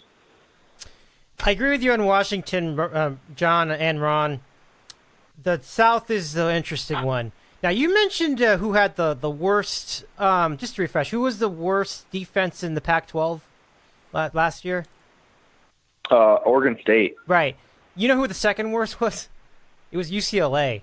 So all those returning starters on UCLA's defense, I don't know if that's a good or not. I can't I can't decide that yet. So that's kind of crazy. But but you know what? There's a couple things I I'm really surprised at your guys' assessment of Chip Kelly. I'm really surprised. I, I thought you guys would be higher on him. The one thing I would say to defend him is that he inherited nothing. Like the he this this team was very very bad. Like this is a terrible roster. You know, from DTR down down. I mean, this is a brutal team, and yes, they they had a horrible start to the season, but I did think that they started looking better towards the end. So for that reason, I am a little bit higher on UCLA than uh, than both of you guys are. And from that standpoint, I am going to pick them to win the South. And um, the one thing though that that goes against my pick here, and I think you both would agree with this, Ron. I don't know if you agree with this, but Chip Kelly's recruiting ability isn't really that good. That he doesn't even like to recruit. would that be a fair assessment there, Ron? Yeah, I I think so. I think DTR was uh, you know was almost uh, an you know an abnormality that he he got somebody he was able to get a quarterback like that in the mix. You're right. He, he almost seems like he's uh, he's too good to recruit, and uh, you know they haven't been in the mix for the top guys. Uh, you know for I would say anybody in the top 100 in uh, the past couple of seasons. That's for sure. Yeah. All right. So I guess what I'm going by then is scheme and the, just the fact that the rest of the division is just not that good. But I I do like Kyle Whittingham. I do think he's a very good coach. But uh, we're gonna see what happens with them when they have expectations. That's the only thing. But honestly, if Utah wins the division, that'll be the least surprising thing of the conference this year. So away we go. So uh, I'm gonna go with Washington for the North, UCLA for the South. A um, little bit on a limb with UCLA, but I still think that Washington wins the conference. And as Ron said, I think the quarterback change is addition by subtraction. So um, Washington, it should be theirs to lose for the Pac-12. So uh, we're starting to get a little tight on the time. So let's get through these next couple of conferences. We go to the MAC next, and back to you, Ron. All right, I'll go quick with the MAC. Um, the MAC, I think, uh, is uh, Ohio's to lose. Uh, Nathan Rourke is uh, is probably the most dynamic player in that conference. Um, the returning quarterback for for Ohio. Uh, I, this year, I really do think the MAC. Um, you know, we're always good for you know a surprise team or two there, but it does really seem this year like uh, you could from team number one to team number twelve. Uh, you could toss a coin and you could see them, you know, getting seven, eight wins uh, to five or six. Uh, it seems like there's a lot of parity in, in, in the league this year uh, and no real uh, standout. So even though I say Ohio is, is the team to beat, uh, I could easily see them, uh, you know, slipping to, to second or, or third in their division. Um, but I, I think it's Ohio in, in the East. Um, maybe Buffalo uh, as number two uh, over there. Um, Miami, Kent State, uh, Akron, Bowling Green. Um, I, I don't see them uh, you know, at least on paper, challenging Ohio.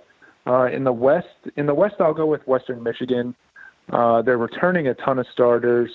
Uh, their quarterback is is pretty good. Uh, uh, was was Cynic, yeah, was Cynic, uh, who was a uh, actually a Rutgers uh, recruit who uh, who flipped to Western Michigan at the last minute uh, a couple years ago. So he's uh, he's pretty good. They have a uh, uh, their defense struggled a little bit, but they're but they're returning a bunch of guys. Uh, I, think they can win the West. I think Toledo is right there. Uh, Toledo is is always in the mix. It seems like in that Western Division. Um, and besides that, Northern Illinois, Eastern Michigan, Ball State, Central Michigan. Again, these are all teams who you could flip a coin and you could see them winning anywhere between four and six games. Um, so I'll say it's Ohio with uh, Nathan Rourke, who uh, is the best quarterback in the conference, and Western Michigan uh, with Wassink, who's probably the second best quarterback in the conference. And I'll say uh, I'll say Ohio wins the MAC this year. All right, and uh, and I uh, I will now go to John, and let's get your MAC predictions. All right, we'll go quick. Um, I agree on Ohio. Um, compared to the other teams in the division, uh, they're head and shoulders above those teams. Uh, Nathan Rourke, as Ron mentioned, the player uh, player of the year in the conference. And even though they do lose a few skill players, I think um, compared to everybody else, uh, still more than enough there to win. Um, especially since Buffalo lost their star receiver uh, Anthony Johnson, and then um, their quarterback, whose name escapes me, but he he uh, he went to, to go to the NFL draft, and he should have stayed. That big tall guy, and, and I'm just drawing a blank, but he he left. So they're they're really uh, lost a lot of production. Um, those two guys specifically. So uh, they're going to take a step back. So compared to Ohio, I, I just don't think they're going to contend with them. Um, Kent State, I think, could do better this year. Um, they've been building something there. Uh, last year was Sean Lewis's first year, and he's a disciple of Dino Babers, so he's bringing that offense to Kent State, and um, I think that they're definitely going to be much improved this year. Uh, so I think they could actually challenge for second in the division uh, behind Ohio. And the other three teams don't really need to mention Bowling Green, Akron, and Miami, Ohio. Miami, Ohio loses Gus Ragland, and if he was still there, I might have picked Miami, Ohio. But um, without him, their coach is just Chuck Martin. He's one of the guys. You know, you, you there's some coaches that you bet on because – uh, and then you, get a couple extra wins a year. And he, he's terrible in close games, and they're they're just, um, without Ragland, they're really not going to do anything. And one thing to note about Bowling Green, their new coaching staff, Scot Loeffler, head coach, and Brian Van Gorder, defensive coordinator, just horrendous. They they're going to be last place by far in in the MAC. I don't know what the school is thinking hiring those guys. Uh, and then in the West, um, yeah, two team race between Toledo and Western. And um, just to be different, I'm going to say Toledo. Even though they, they did lose some players, they're usually the most talented uh, team. They can replace those guys. Uh, they lost some receivers to the NFL, but um, they returned their quarterback, Mitchell Guadagni, and I just think they're a little more talented than Western, um, who has some injury issues. I mean, Wassink is good, but um, he's been hurt, and if he gets hurt again, I mean, they'll be in trouble. Their backup didn't do too well last year when he was uh, when he was in. Um, so just for that alone, I'll go Toledo. Um, Northern Illinois, I think, is going to take a step back this year um, because Carey did leave, but they replaced him with a running backs coach from the Baltimore Ravens, Thomas Hammock, and he he's a former uh, alum at NIU, so um, he knows the school. But I just I don't know, that just was kind of strange to me. And then the other three three teams. Um, Eastern Michigan might challenge for a bowl game. Their coach has done a pretty good job there. That's a really hard, hard school to win at. Um, and then Ball State, Central Michigan, forget it. Uh, Central Michigan actually hired Jim McElwain, who used to be the Florida coach, obviously. Uh, so uh, they were one and eleven last year and had the worst offense in the country. So nothing, nowhere to go up for them, I guess. But uh, that was just a very interesting hire. So um, Ohio and Toledo, and then I will agree that Ohio will win the MAC this year, and I believe it will be their first MAC title ever, and uh, well deserved for Frank Solich. I like it. Good stuff, uh, John. Let me give you mine. I have Ohio winning the East as well. I have Western Michigan winning the West. And just like you, t- you both, I, I will pick Ohio to win the MAC this year. So there you go for the MAC. Now to the Mountain West. This is the last of the group of five teams we'll be covering tonight. I'm mean, group of five conferences. So uh, we go back to Ron. Let's get your Mountain West preview. Okay, I'll try to go quick again with the Mountain West. Uh, in the Mountain Division, uh, Boise State, I think uh, is, is number one over there. Um, they're returning almost uh, virtually every starter except for quarterback. Uh, and I know Brett Rypien uh, was the the model of consistency there the past few years. Um, and I'm not sure if they've named a starter yet. Uh, I know they had a big time recruit actually. Um, I, his name escapes me uh, from California who was pushing for the job. So I don't know if they'll actually go with a true freshman uh, or the backup from last year, Chase Cord.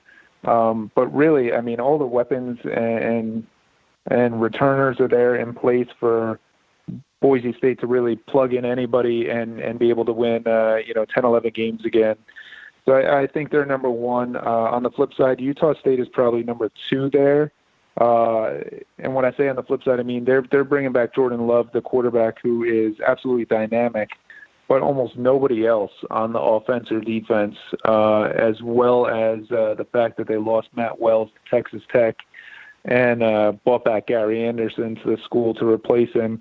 Uh, not sure how well that's gonna that's gonna go. I'm never really a fan of the the, the retread hires, uh, you know, at the schools, but who knows? It could work. But uh, Jordan Love, I think, is good enough to keep uh, Utah State in, in second there. Air Force has uh, a bunch of guys returning. I think they can win uh, uh, six or seven games and challenge for a bowl. Same with Wyoming. Um, I think the two bottom teams uh, in, in the mountain are, are Colorado State and New Mexico. Uh, we talked about New Mexico before with Bob Davie. Uh, you know, I, I think he's probably gone, uh, probably the first coach fired this year. Um, they they just don't have a good team, and uh, and, and it seems like they're just uh, you know they're running on fumes right now with Davie at the helm, and uh, you know that change will probably be made sooner rather than later. Uh, in the West, to me, it's a real toss-up because there's so much change. Um, you know, within the top two teams uh, that we would think with Fresno State and San Diego State, they're they're both losing a lot of returners, uh, or losing a lot of of, of starters. Uh, and, and really a toss up between who you like. I'm going to go out on a limb and say that Hawaii wins the West. Uh, they surprised last year. Uh, you know, came back really from you know they they were dormant for a doormat for a few years. They came back and won eight games. They returned Cole McDonald to uh, you know it was almost like a, a, a throwback to the the Hawaii teams that we all know and love, where they would put up. Uh, you know, a million points and throw for 400 yards a game. Um, so he he's coming back. Uh, Hawaii's a tough schedule, but uh, again, I just don't know uh, how you could trust uh, Fresno State and or San Diego State uh, with the uh, the returners that they have. It's almost like a rebuilding year for both of those teams.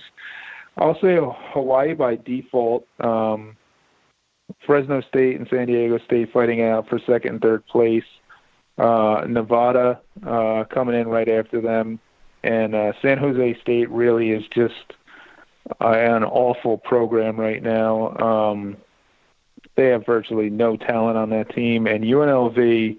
Uh, you know, they th- they tried to think outside the box a few years ago and hire Tony Sanchez, who was the uh, uh, the high school coach at Bishop Gorman in, in uh, Las Vegas. You know, the the team who it's basically a factory for you know all the big time recruits, and uh, he has you know he's failed at his job. Uh, you know that they've slowly risen to you know four or five wins a year, but he's a guy who uh, you know, and, and even the administration I think has said it. If he doesn't get a bowl game this year, he's gone.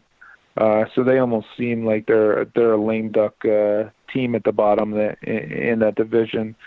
Uh, so uh, again, I'll say Boise State and Hawaii, uh, and Boise State uh, takes the uh, the Mountain West. All right, uh, let's go to John. Let's get your look at the Mountain West. Oh, man, I, I Ron stole my sleeper pick. I was going to say Hawaii too, but so I'm not. I'm not going to back off that one. I'm going to stick with it. Uh, he's absolutely right. I mean, Fresno State. I mean, they had a great last two years, but they lose so much. I mean, they just. I mean, uh, this was their opening game was at USC. If it was last year, I would have picked Fresno State. But this year, they just lose so much talent. They, you just, I mean, you know, they've recruited well, so and and Tedford's done a nice job, um, but you just can't count on it happening at a a lower level program like some of the, the big schools like Clemson, they could just plug in the next guy and go. Um, you know, you really can't say that at Fresno State. So um, for that factor, and then San, San Diego State, they're always going to do their great defense, running game kind of thing. It just, I don't know how how much longer that's really going to work. Uh, I would say. I mean, um, they're returning their quarterback, and, and Juwan Washington is, is a pretty good running back, but I'm just not feeling it with them for this year. They kind of struggled towards the end of last season, and I read they might be changing their offense a little bit. I, I don't know. I'm just not uh, not feeling uh, the Aztecs. So I will go with Hawaii and Cole McDonald and the run and shoot that they're they're doing over there. And uh, the important thing to see here is their schedule because they get both Fresno and San Diego State at home, and those are the two contenders. And their road conference games are um, Nevada, Boise State, New Mexico, and UNLV. And obviously, Boise State will probably be a loss, but those other three are very manageable. And um, so I agree. I'm going to go out on a limb and, and say Hawaii. And the other three in the division, yeah, San Jose State is in there with that group of the worst teams in the country. Um, Nevada should be a little better. Um, well, they did make a bowl game last year, so maybe about the same level. Uh, what's interesting about them is uh, the guy from Last Chance U, Malik Henry, was in the running for the quarterback job, and they named somebody else as the starter yesterday. So again, he he gets beaten out. Um, uh, you know, which was kind of what you saw on the show. He just was just not a good leader or teammate or anything, and it just kind of proved itself again here at Nevada. Um, so he he doesn't he doesn't win the quarterback job. Yeah, but UNLV they they're going to need to make a bowl game for Sanchez to keep his job. Probably, I agree with that. Um, they you know they have some talented offensive players, but just haven't been able to put it together. So um, I'll, I'll say again, I agree with Hawaii, and then I agree on Boise. Even though they do lose Rypien and Mattison to to, to graduation, um, they they have a bunch of other talented defensive players on their offensive line. As long as they get competent quarterback play, they should be able to to win the division. Um, I you know I completely agree. I think Gary Anderson is a mistake for Utah State. We've seen these coaches come back to schools for like to get a taste of the glory days, and it never works out. He essentially quit on his last job when he was in Oregon State. Um, so that just does not bode well. I agree. Love is a tremendous talent, but that's all they have, and I just think it's good. It's a recipe for disaster. So um, I think the closest team to Boise will be Air Force this year, um, and then after that, Wyoming, probably same six and six kind of level they've been at, and then Colorado State and New Mexico will be just horrendous. Um, so again, I agree. Boise and Boise and Hawaii, well, for the championship, and I guess by default, um, you got to go with Boise State to win the conference and uh, potentially be up there to challenge for that Group of Five bid.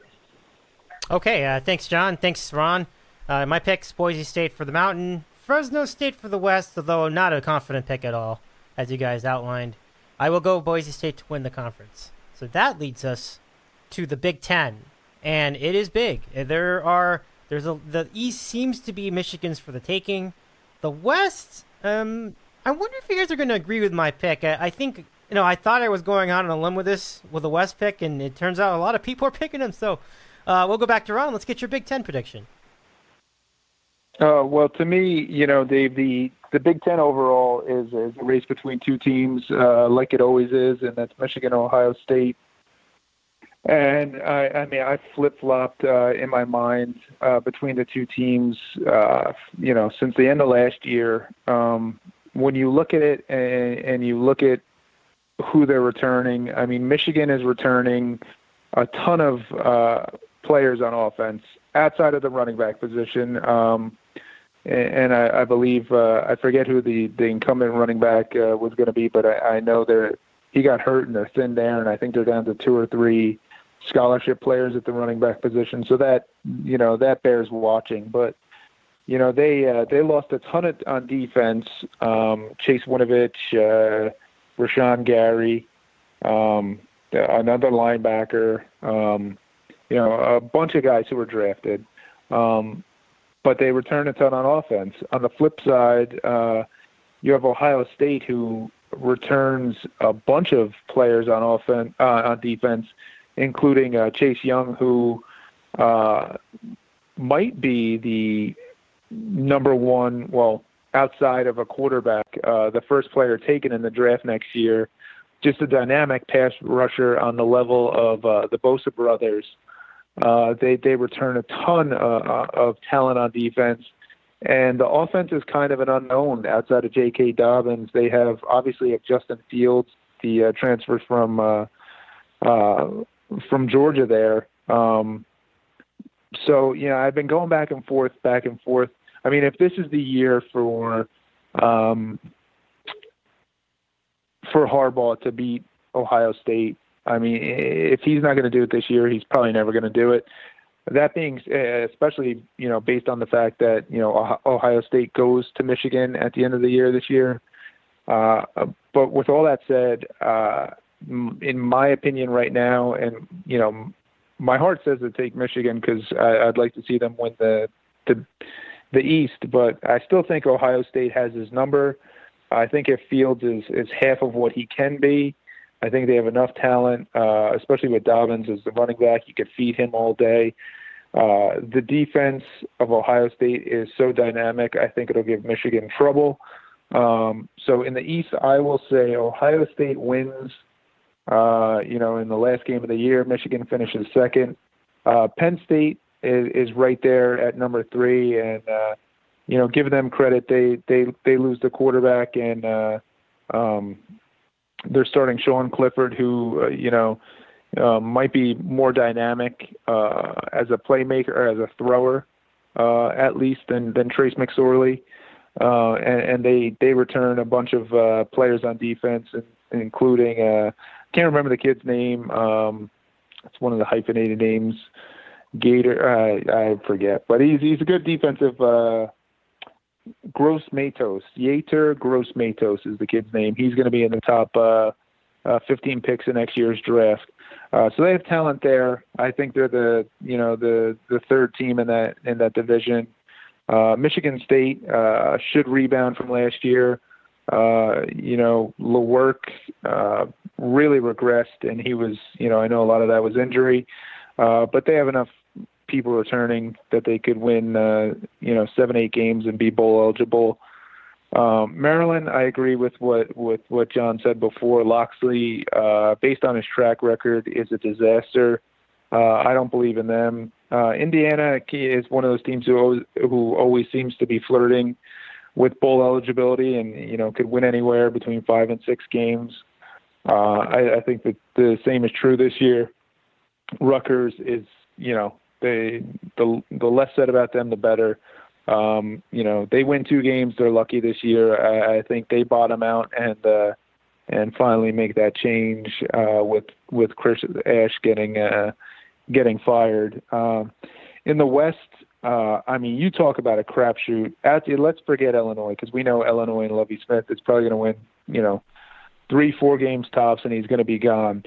But I mean, you you could logically you know, predict any of the other five teams as uh, the winner of that division, and I, I would believe you. Um, you know, Nebraska is is you know bound to uh, make a big leap in, in Scott Frost's second year, especially with Adrian Martinez, who, you know, when he was healthy last year, was certainly a dynamic fit in that offense. Uh, you just got to worry about him staying healthy. Um, Iowa is uh, returning Nathan Stanley uh, and, and, a bunch of other players on their team. Um, Wisconsin, uh, down year last year, but they have all the pieces in place. I mean, really, you could say that they struggled last year because the quarterback play.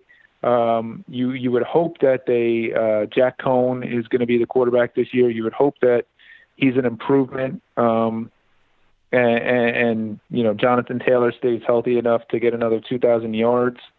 Um, so I, I could see them bouncing back. Uh, Northwestern, I mean, we talk about them every year. Pat Fitzgerald is a favorite of, uh, of ours. Always has them in the mix uh, at seven, eight wins. They they won the division last year. Can they do it two years in a row? Uh, you know, you can make the case for it certainly. And uh, Minnesota and Purdue. Um, you know, Minnesota uh, PJ Fleck, uh, you know, you finally saw the uh, the method uh, to his madness at the end of the year last year. Um, can they make a, a huge leap this year? Uh, that's an unknown. And and Purdue loses uh, a, a, a lot of players, but they probably have the most dynamic uh, player in that division in Rondale Moore. who uh, you know could score from anywhere on the field anytime he touches the ball. So it's a toss-up. You could say any of those teams, uh, and you could make a logical uh, discussion for them to be the the winner of that division. Um, I know, Dave, you're probably going to say Nebraska. Um, I'm gonna I'm gonna go ahead and say, uh, you know, Wisconsin um, will eke out uh, that division. Uh, just yeah, I, I can't see them being as bad as they were last year, two years in a row.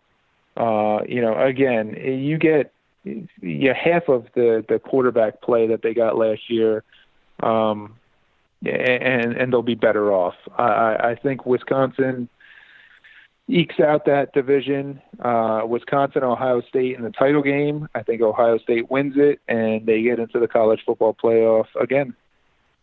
But you're right. Um, you're right on a couple of things. Number one, uh, yeah, I, I, that was my pick, Nebraska for the West, and it's a good. That's a good predict. That's a good. Uh, that's a good guess. Um, and naturally, it's a it's a popular pick. I mean, I'm a, I like Scott Frost, and they're bringing back Aaron Martinez, and I think that he could be good enough, I think, to get them through some of those games. Um, I mean, they look. Remember how bad they started the year? It was like they what were they zero oh and five, and then they lost one game where they had a big old lead and they blew it. But they went from that yeah. and they yeah. turned it around, and I, I think that's a good mo- that's a good optic for Frost. And so I think from that standpoint, I thought that they would be probably in a better position. I do like Wisconsin, but they did lose a lot. And now Hornibrook is not a really. I don't qualify that as a loss because he was not that good. No.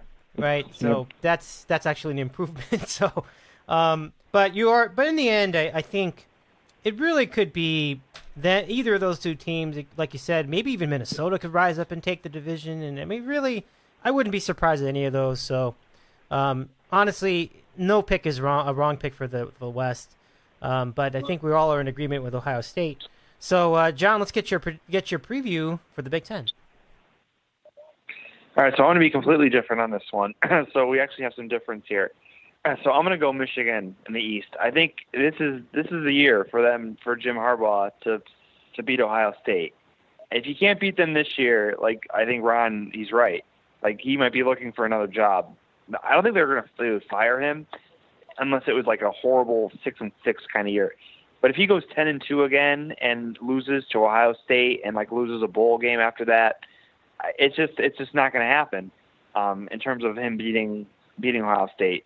Uh, so I think they're going to do it this year. I think Shea Patterson is you know he's a really good quarterback, and they're just returning a ton uh, elsewhere on their team, especially on defense. And uh, a big addition this year that no one's really talking about at least from a lot of things that I've seen, is Josh Gattis, who is the offensive, who's now the offensive coordinator, and if, everything you read says that uh, he com- he came from Alabama. He was a co-offensive coordinator. That's just a huge loss to Alabama and a huge gain for Michigan. Um, and he was just loved by all those players and his schemes. Um, you know, obviously produced some great offense uh, down at Alabama, and he's working with similar talent level here at Michigan. And I just think that could be a huge difference for a Michigan offense that sometimes had gotten pretty stale and just really not um, you know not championship worthy, and that could be that could be what Michigan needs to kind of get over the top. And um, their schedule is not too bad. Uh, they do play at Wisconsin and at Penn State, which are kind of tough, the tough road games. But if they can split those, I think they can win the rest of their games. And um, you know, it'll come down to the Ohio State game again. And I think I think they can do it. And obviously, like I mentioned before with Ohio State, uh, you know, until Ryan Day proves that he can manage the team, not just the offense as offensive coordinator, uh, with all that talent, um, you, you you know you can't expect it to happen until he does it. Basically, um, even though they'll be good and they're talented, you just you have to see him do it. Um, Michigan State, you know, just a horrendous offense last year, and they really didn't bring in anybody new in terms of an offensive coordinator. They just kind of shuffled who was there with new with new roles, and that just I don't know if that's going to work out. I mean, their defense will be solid, but um, I think I think they're a clear third behind Ohio State and Michigan.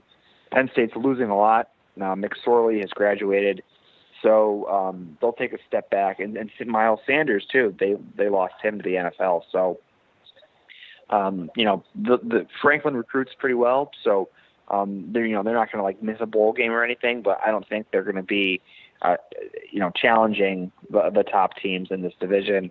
And then Indiana, they're the typical six and six kind of year that they always have. And then Maryland, Rutgers, forget it. Um, I already said what I had to say about Locksley. I think they're going to be in for a rough year. And then, you know, Ron mentioned Ash and Rutgers. I will say I was I looked up that point spread. It's Rutgers minus 15 over under 56 for UMass next Friday. So place your bets down on uh, whatever you want for that game. Um, and then in the West Division, you guys are right. You can completely take any of the top six and make a case for them. Um, I'm going to make a case for Minnesota. Uh, they finished the year great last year. They finally beat Wisconsin to end the season.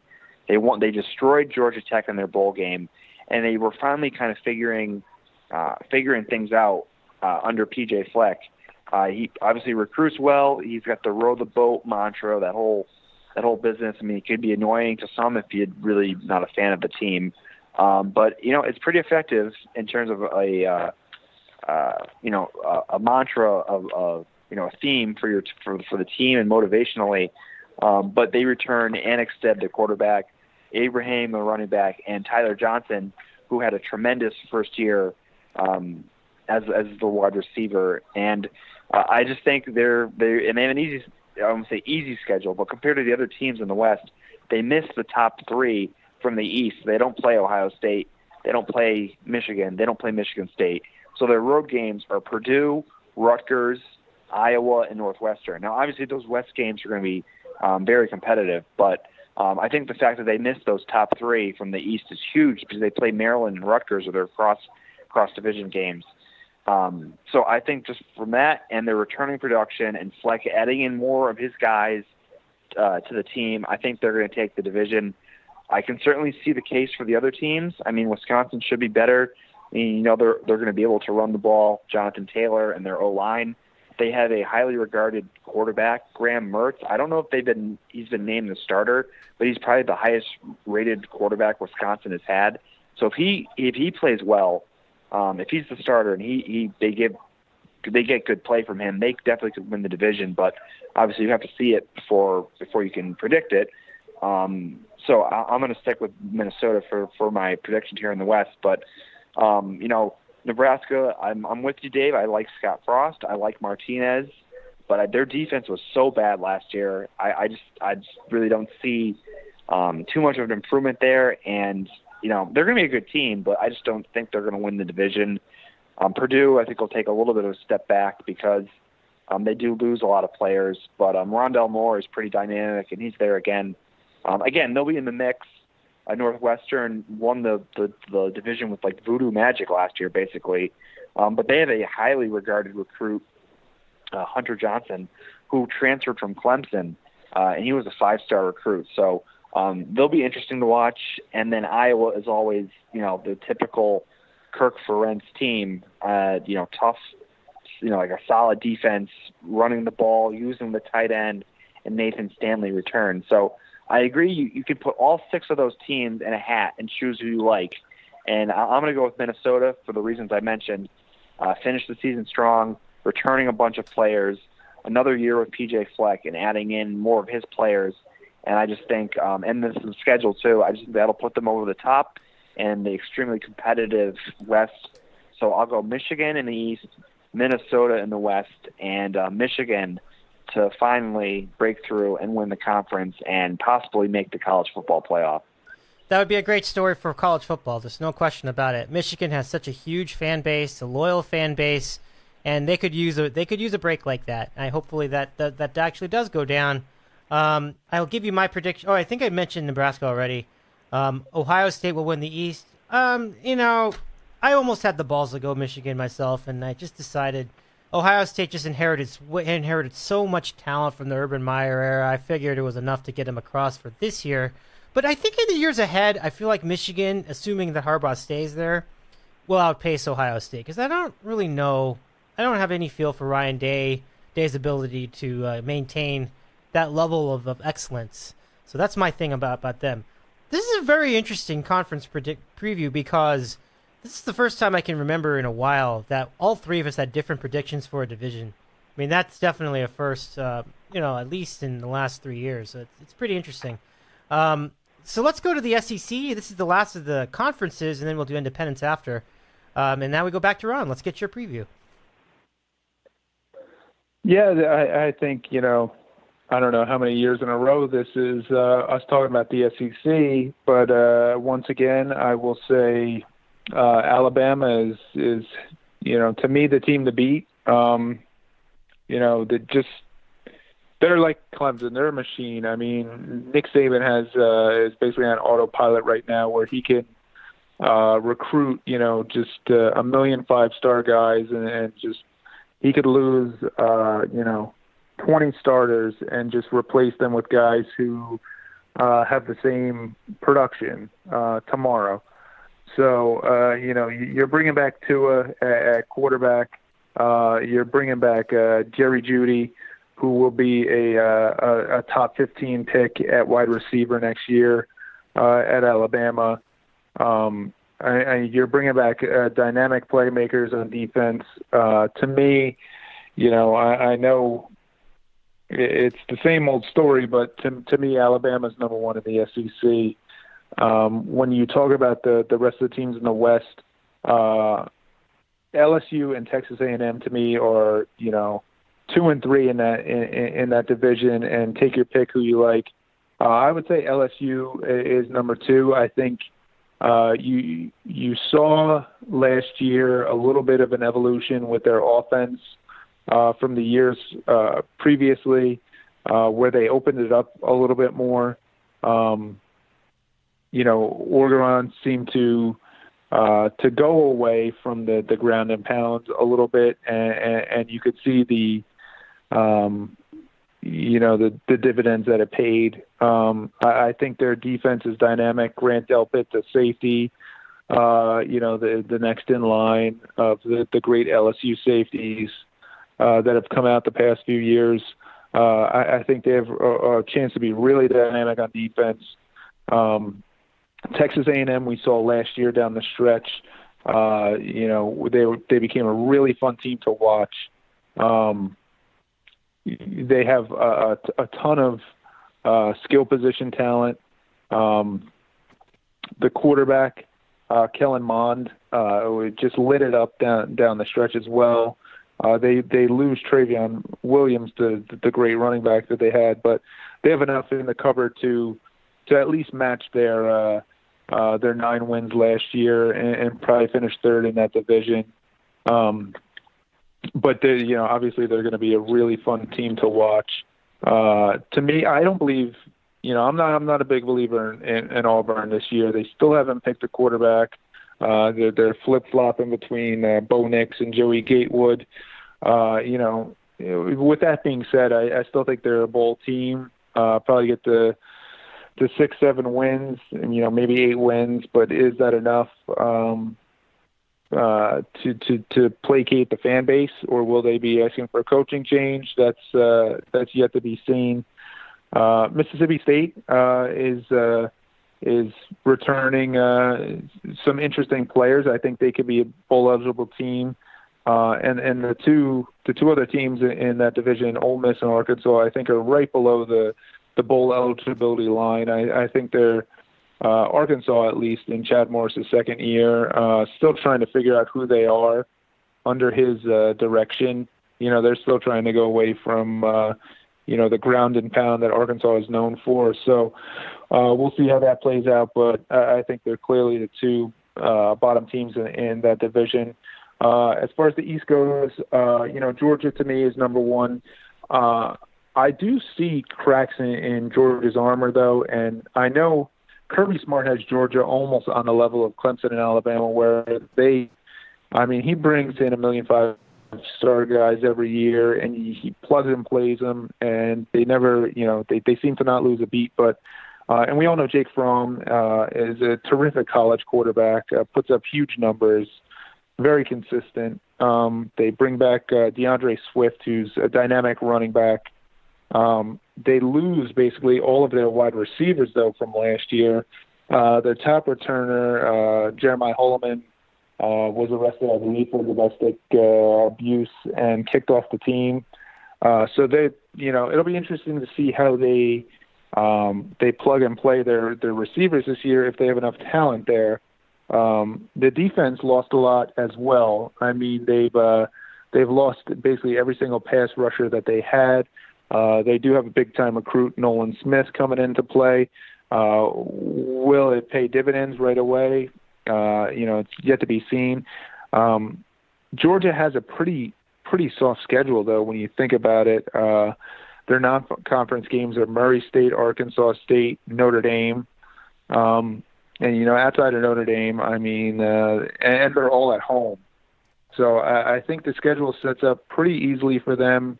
Uh, and obviously Georgia Tech at the end of the year, who is on a down year. Uh, I, think the the schedule is set up perfectly for them, even if they are lacking in a few areas.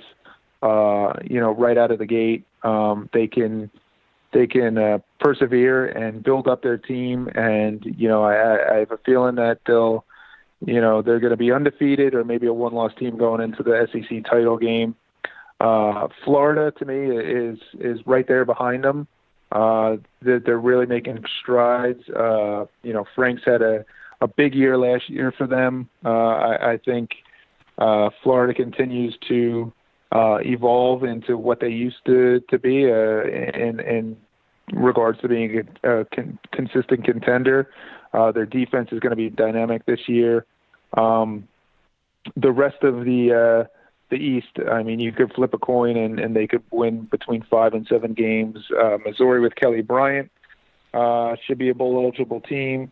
South Carolina, uh, Will Muschamp, um, you know, we know him. He's the Ooga Booga uh, you know, guy who he he's always been. Uh, Jake Bentley's coming back, but he really regressed last year. Uh, I don't see them getting over six or seven wins. And I know we make the joke about, or at least I did forever, that uh, you know Tennessee is consistently overrated by the national media, um, and and, and the uh, the hire uh, the hire of the uh, I forget who the coach's name is, but you know he came from uh, from Alabama as the def- uh, Jeremy Pruitt came from Alabama as the defense coordinator. I killed it, but I actually think this year they have a chance to surprise people and uh, and, and get to seven or eight wins and, and be the third team in that conference uh, just because they're returning so many players um, who contributed last year. Jarrett uh, uh, Guarantano, the the quarterback, was was pretty good for them last year. I, I think if he's consistent this year, Tennessee can uh, challenge for that third team in the division. Um, but overall, I say Georgia and Alabama. I think Alabama wins again, and I think Alabama and Georgia both make the uh, college football playoff. I think uh, there's a good chance that you'll see them both undefeated going into the SEC title game. Oh yeah, because with the Georgia schedule as such as it is, I, I completely buy into that too, Ron. So uh, I like it. So let's go to John, and let's get your SEC preview. All right, well, try to make it quick. Um, yeah, so Bama, undisputed king of the SEC until proven otherwise. Uh, you know, Tua's going to be great. Uh, they they just plug and replace guys that they lose on defense. Um, you know, I don't know how, how you can pick against them. Um, you know, until proven otherwise. I mean, they're they're right there. I mean, uh, Ruggs is is tremendous uh, receiver. Jeudy is tremendous. I mean, their offense is just going to be ridiculous. And any losses that they had on defense, I mean, they just they just put in another five star recruit. So um, they're going to be right there again. Uh, LSU probably right behind them. Um, you know, probably not good enough to to make the playoff, obviously, because they have to go through Alabama. But they'll be a good team. Uh, Orgeron's been has done a better job than I thought he would. Um, I'm not a huge fan of Joe Burrow, although he had a great bowl game against Central Florida. I mean, they really threw it all over the place in that game. If that's a sign of things to come for him this year, uh, you know, definitely, you know, uh, things are looking up uh, for that team if, if he's going to play like that all year because he was pretty bad for the for the duration of the regular season, um, and that was a great game um, they had against Central Florida. Uh, I I like A and M too. The problem is their schedule. Uh, they play Alabama, Georgia, and Clemson in the non-conference um, as does South Carolina. Interestingly enough, they play Georgia, Alabama, and Clemson. Uh, so those two teams just killed by their schedules. Um, although you know uh, uh, Jimbo Fisher is a great recruiter, and you know who knows? Maybe in a, a couple of years after he has a number of recruiting classes, he could possibly challenge Alabama. But for now, they just got to stick with being happy with third or fourth in the in the division and eight wins, which is that's probably probably what the West is going to get you. Um, Auburn actually did name their quarterback today. It is Bo Nix, true freshman, uh, to play against Oregon next Saturday night. Uh, so we'll see about that. But um, they have a, another they have a brutal schedule. Again, not as bad as the other two teams that I mentioned, but um, you know, getting the seven wins would be, actually be probably pretty good, and you know, it might got, might get Malzahn fired. Um, like we mentioned, uh, Mississippi State loses Fitzgerald. Uh, but Moorhead, I feel, is a pretty good coach. But you know, they're not going to contend for the division. Uh, but you know, six and six, seven and five, they'll be a bowl team for sure. And then Arkansas and Ole Miss, it's going to be a rough year for those two. Um, you know, Arkansas was just pathetic last year. They should be a little better, but don't think they're going to be anywhere near um, bowl eligibility. And then the East, yep, Georgia obviously is going to be taking the division with Florida right behind them. I don't think you can pick against Georgia the way that they recruit. Again, like Ron mentioned, it's they're kind of becoming a mini Alabama and Clemson with the way they're stockpiling talent. And Fromm is is great, and um, you know they they kind of did show some cracks last year. Uh, even in games that they won, I remember it was just kind of. Uh, I mean, they almost lost to Missouri. Um, they had a couple other games that were weren't just you know very very dominant. They lost to LSU, and then obviously the the SEC title game they lost to to Alabama after having that lead. Um, so you know they'll be right up there again, and they should win the division. But uh, would not be shocked if Florida uh, came came by and um, and passed them this year. Uh, you know, another year with Franks and Dan Mullen's system, and uh, he's just a great coach. And um, you know, I could I could see them. Uh, that'll be a great game in Jacksonville between Florida and Georgia. But for now, I think you have to do the safe pick and put Georgia ahead of them. Uh, Missouri should have a tremendous offense now with Kelly Bryant. They return a lot of other players, um, but don't think they're quite as good as Georgia or Florida. Maybe they'll pick one of them off for an upset, especially since as of now they're not eligible to play in a bowl game this year because of NCAA, um, you know, craziness. So um, that's kind of like their bowl game playing those two teams. Um, South Carolina has the brutal schedule, like I mentioned, and the Ooga Booga coach. Um, so again, a seven and five year is probably going to be pretty good for them with that schedule. Uh, Bentley is a, is a good quarterback. Um, Tennessee is. I haven't heard much about them, which maybe they'll actually play really well this year. I don't know. Um, but yeah, they're, they're going to be, you know, probably bowl eligible, but down the division. Kentucky was a ton from last year. Um, you know, Josh Allen is gone. They're stud on defense. Benny Snell is gone. They're they're stud on offense. So it's gonna be tough for them. Um, and then Vanderbilt bringing up the rear. They actually have some pretty good offensive talent. Uh, Pinkney, their tight end, Lipscomb at wide receiver. Um, they do replace uh, Kyle Shurmur, who went to the NFL with a Ball State transfer, Riley Neal. So I don't, I'm not sure how that's going to work out, but they should have a pretty good offense. I don't know if it'll be good enough to get a lot of wins. Their their scheduling scenario is they just schedule four cupcakes and then try to pick off two SEC wins. And many years it works for them, so that's what they're going to try to do again. But I think they're better than the bottom teams in the West. But I think the East is definitely more competitive, one through seven, than the West is. Um, but yeah, so Georgia, Florida, um, I'm sorry, Georgia, Alabama again for the title, and you know, take your pick. If it, if it, if they're, both of them are there undefeated, they're both going to make the playoff anyway. So it really doesn't matter who's who wins it. I guess I'll just say Alabama just because, but um, you know that should be another rematch again this year. Yeah, I think all three of us are in agreement. I believe Ron picked Bama to win the conference, uh, and uh, I will too. I will pick Alabama to win the West, Georgia to win the East, and uh, I will take Alabama to win the SEC this year again. but it's funny because I think there have been some years where Alabama didn't win the SEC conference outright. They got in the playoff and they won like the whole championship. So John has it dead on where it's like doesn't really matter. Like I think if they're both in that conference title game, they're good. So uh, now let's go to Independence and we'll be we'll do quick hitters on these. Notre Dame, Army, BYU, and a bunch of rubble, including Liberty with Hugh Freeze. Um, let's go to Ron first and get your thoughts on the Independence. Yeah, I'll go really quick. Uh, Notre Dame, um, you know, they surprised me last year, uh, especially considering they made the playoffs. But uh, Ian Book was the real deal. Um, you know, they they did lose a ton of talent on defense, but you know, Book comes back. The the offensive line is returning a, a, a ton of uh, NFL caliber uh, players, um, and they really they have two tough games the whole year uh, at Georgia and at Michigan. Uh, you figure they win one of those games, uh, they're probably right in the mix for the college football playoff again. Um, odds are they'll they'll lose those games and they'll be right on the outside of the uh, the playoff picture. But uh, boy, you know how the uh, national media loves to push Notre Dame. Um, you know, as long as they're in the mix. So uh, I, I think they'll be right in the mix on the outside. Army to me, um, you know, I, I know they have a pretty tough schedule, but man, the the the job that Monken has done there is is incredible. You know, uh, five years ago, Army was you know a two win team who you know was losing the, the Navy every year for a decade, and uh, you know they are dynamic now, and um, you know uh, Jeff Monken, the coach there, he's going to be a name to watch out for.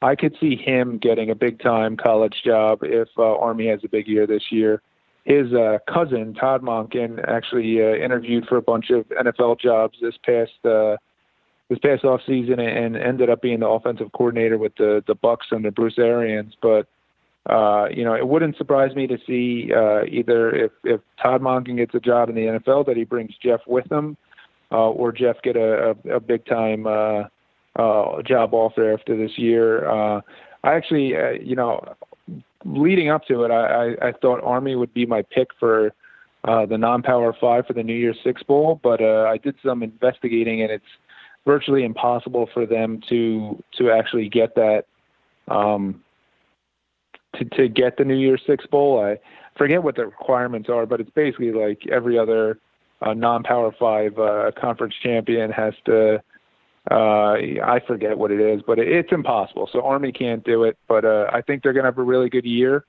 Um, and and, and Monken will probably be gone after the season based on how well they did.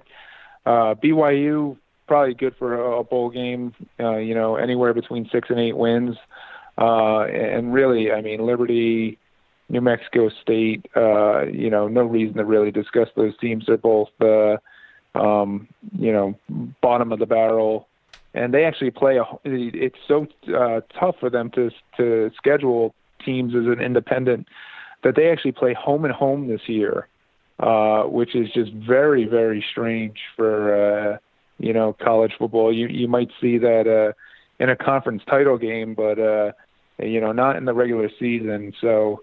Uh, you know, at least they'll have UConn, I guess, next year to to add to the mix. Uh, or it's not Liberty. It's I'm sorry, it's UMass and New Mexico State playing uh, the home and home.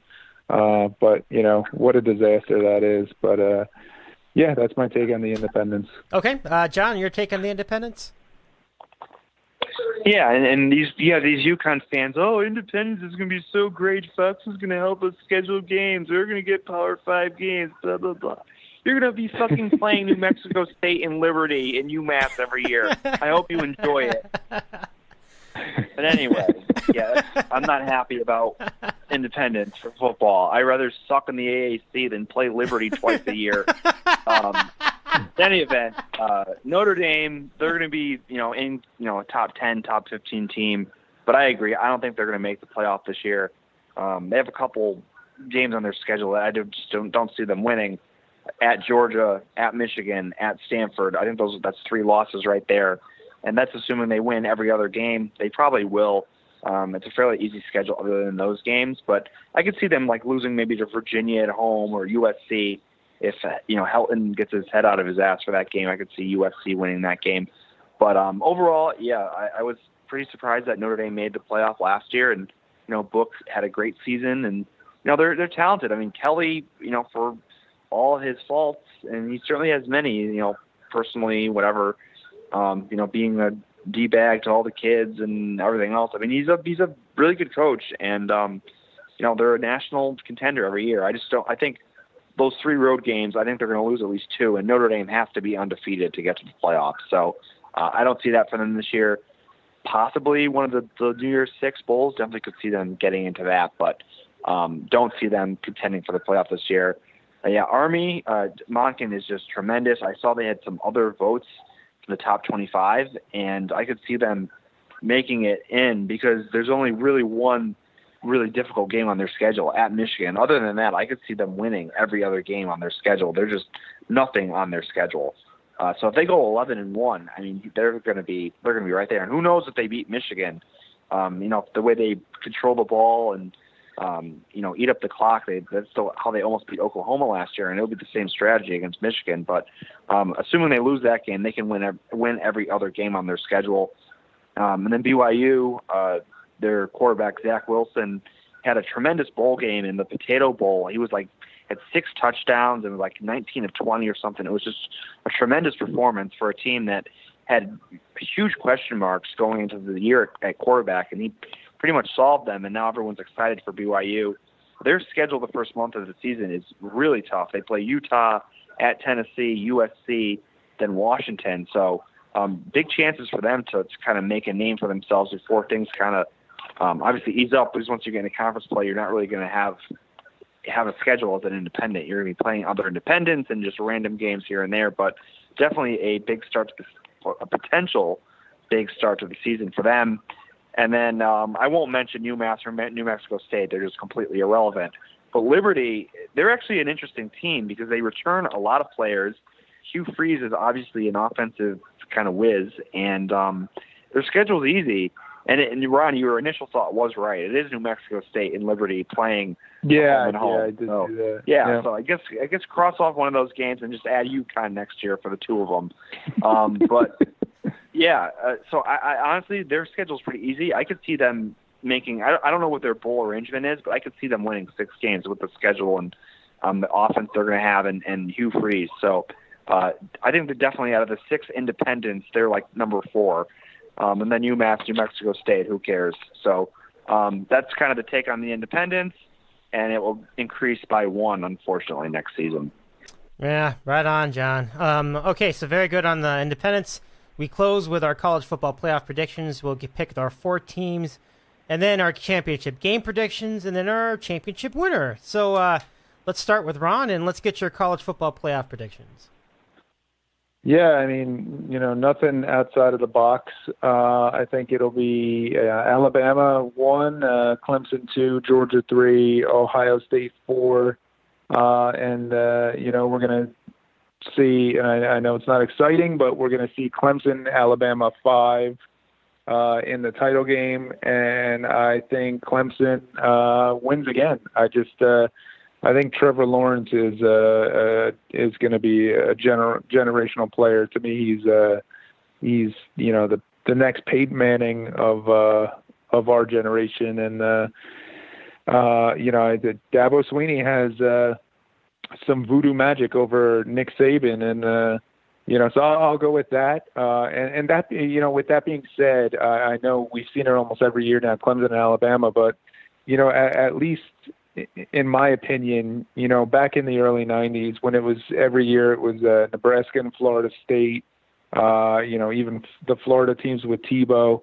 Um, you know, those teams got repetitive year after year and, and basically lost a lot of the, uh, you know, that the dynamic to where you were almost like, geez, uh, you know, I, I wish there was somebody else um, to to be in the in, in the that spot. But uh, at least in my opinion, uh, Clemson and Alabama still has juice, and, and it still has juice because the games are are really really fun to watch and they're really competitive, uh, and and you really don't know who's going to win from year to year.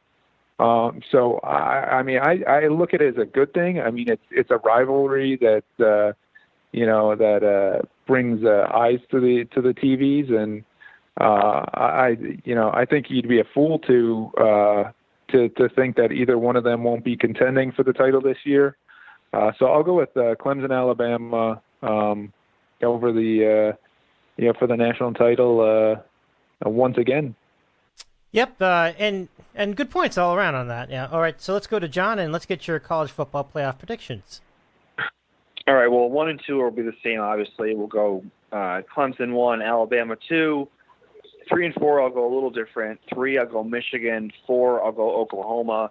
And then I'll do the same title game, Bama Clemson, and Clemson repeating. I agree. just Clemson just seems to have Saban's numbers the way to attack his defense, and don't think that'll change. I think Clemson will repeat, and um, you know, uh, it'll be a, it'll be a great season, but we'll end up in the same the same spot, which is fine because their games have been great, and I think we'll get another one, Clemson Bama, uh, again this season. All right, uh, so uh, I mean, uh, very logical prediction, certainly. Um, let me give you my four. I have Bama. Number two is Texas, and the reason I did Texas for number two is because I really should do Te- Clemson number two. So maybe it's actually Clemson then, and Texas number three, and Washington number four. So it's a little different from the from the first four, but the college championship game matchup is the same. I have uh, Alabama versus Clemson, but in this, in my prediction, I will take Bama because um, I it did seem like Bama got a little irked by all the hype for Clemson over the offseason, and they look like they got a chip on their shoulder, and they look like they might actually have revenge on this one this time around. So I'm a little different on the championship game, but otherwise, same general idea. We both have them meeting again in the college football playoffs. So that's it for the college football uh, football playoff predictions. And now, boy, that wraps it up. Uh, let's do some final thoughts. And uh, Ron, I'll give it to you first. Yeah, yeah, I, I I can't wait for this weekend to actually see some college football. Um, you know, Miami and Florida is a pretty good uh, uh, pretty good way to start too. Um, so you know, yeah, I, I can't believe it's that time of the year again. Um, you know, and I, I hate to see the summer ending, but uh, you know, uh, I'm glad that college football's starting back up. And even though the the ultimate outcome seems pretty predictable, uh, you know, I look forward to. Uh, uh, to mixing up with you guys uh, week in and week out and seeing uh, you know seeing the games. It's it's it's always a, a good time of the year when college football starts. One hundred percent. It's going to be an exciting time of the year, no doubt. Uh, John, let's give it to you for final thoughts. Yeah, I completely agree. I mean, it just it's great to have the season starting, and um, I mean, for 130 teams, like it's always not about winning the national championship because you know heading into the season, only eight to ten really have a have a legitimate chance. But for the rest of those teams, it's just scraping to make a bowl game, and you know, making the the lowest bowl ever would be such an accomplishment for some teams. And it's just just fun to follow the progress of all of them and the different you know conferences and Mongo coaches and just everything in general is is just great about college football, regardless of you know it's pretty predictable how the, how it's going to end with those final two teams. It just the journey to get there and everything else involved is just it's why we love it. So um, great to for it to be back, and um, you know, looking forward to you know being part of doing the picks and everything else again this year. So thank you, Dave, and uh, it was a lot of fun, and you know, can't wait to get the season going this weekend with with two games. So uh, can't wait. Yeah, I can't wait either, guys. Thank you so much once again for coming on to do the previews. This has been a really fun podcast, and, and this is just the beginning of what, like you guys said, this is going to be a really fun year uh, doing all the picks, going into the scenarios, doing our rants about our games. It, it's it's what we live for. And Andy will join us, you know, next week for for for football picks week one. It's already here. I can't believe it. It's gonna be a lot of fun. So, guys, thanks again. Have a good night, everybody. Enjoy the rest of your summer, and we'll be back in a week. Take care, guys. All right, Dave. See you. Good one, fellas. All right, fellas. Take care. Bye, Ron. Bye, John. And uh, goodbye, audience. For now, I'm Dave Medina. Hope you enjoyed that that was a lot of fun. Um, you know, you can go back to this episode anytime you want. We're on on our podcast feed at DITCOW on Twitter, on the web at ditcow.com where you can cross reference our football picks, our football preview, and uh, we'll be back every single week with football picks, with some exceptions. Um, continue to follow us. We'll be we have more coming with you, and on top of that, we'll see you next time.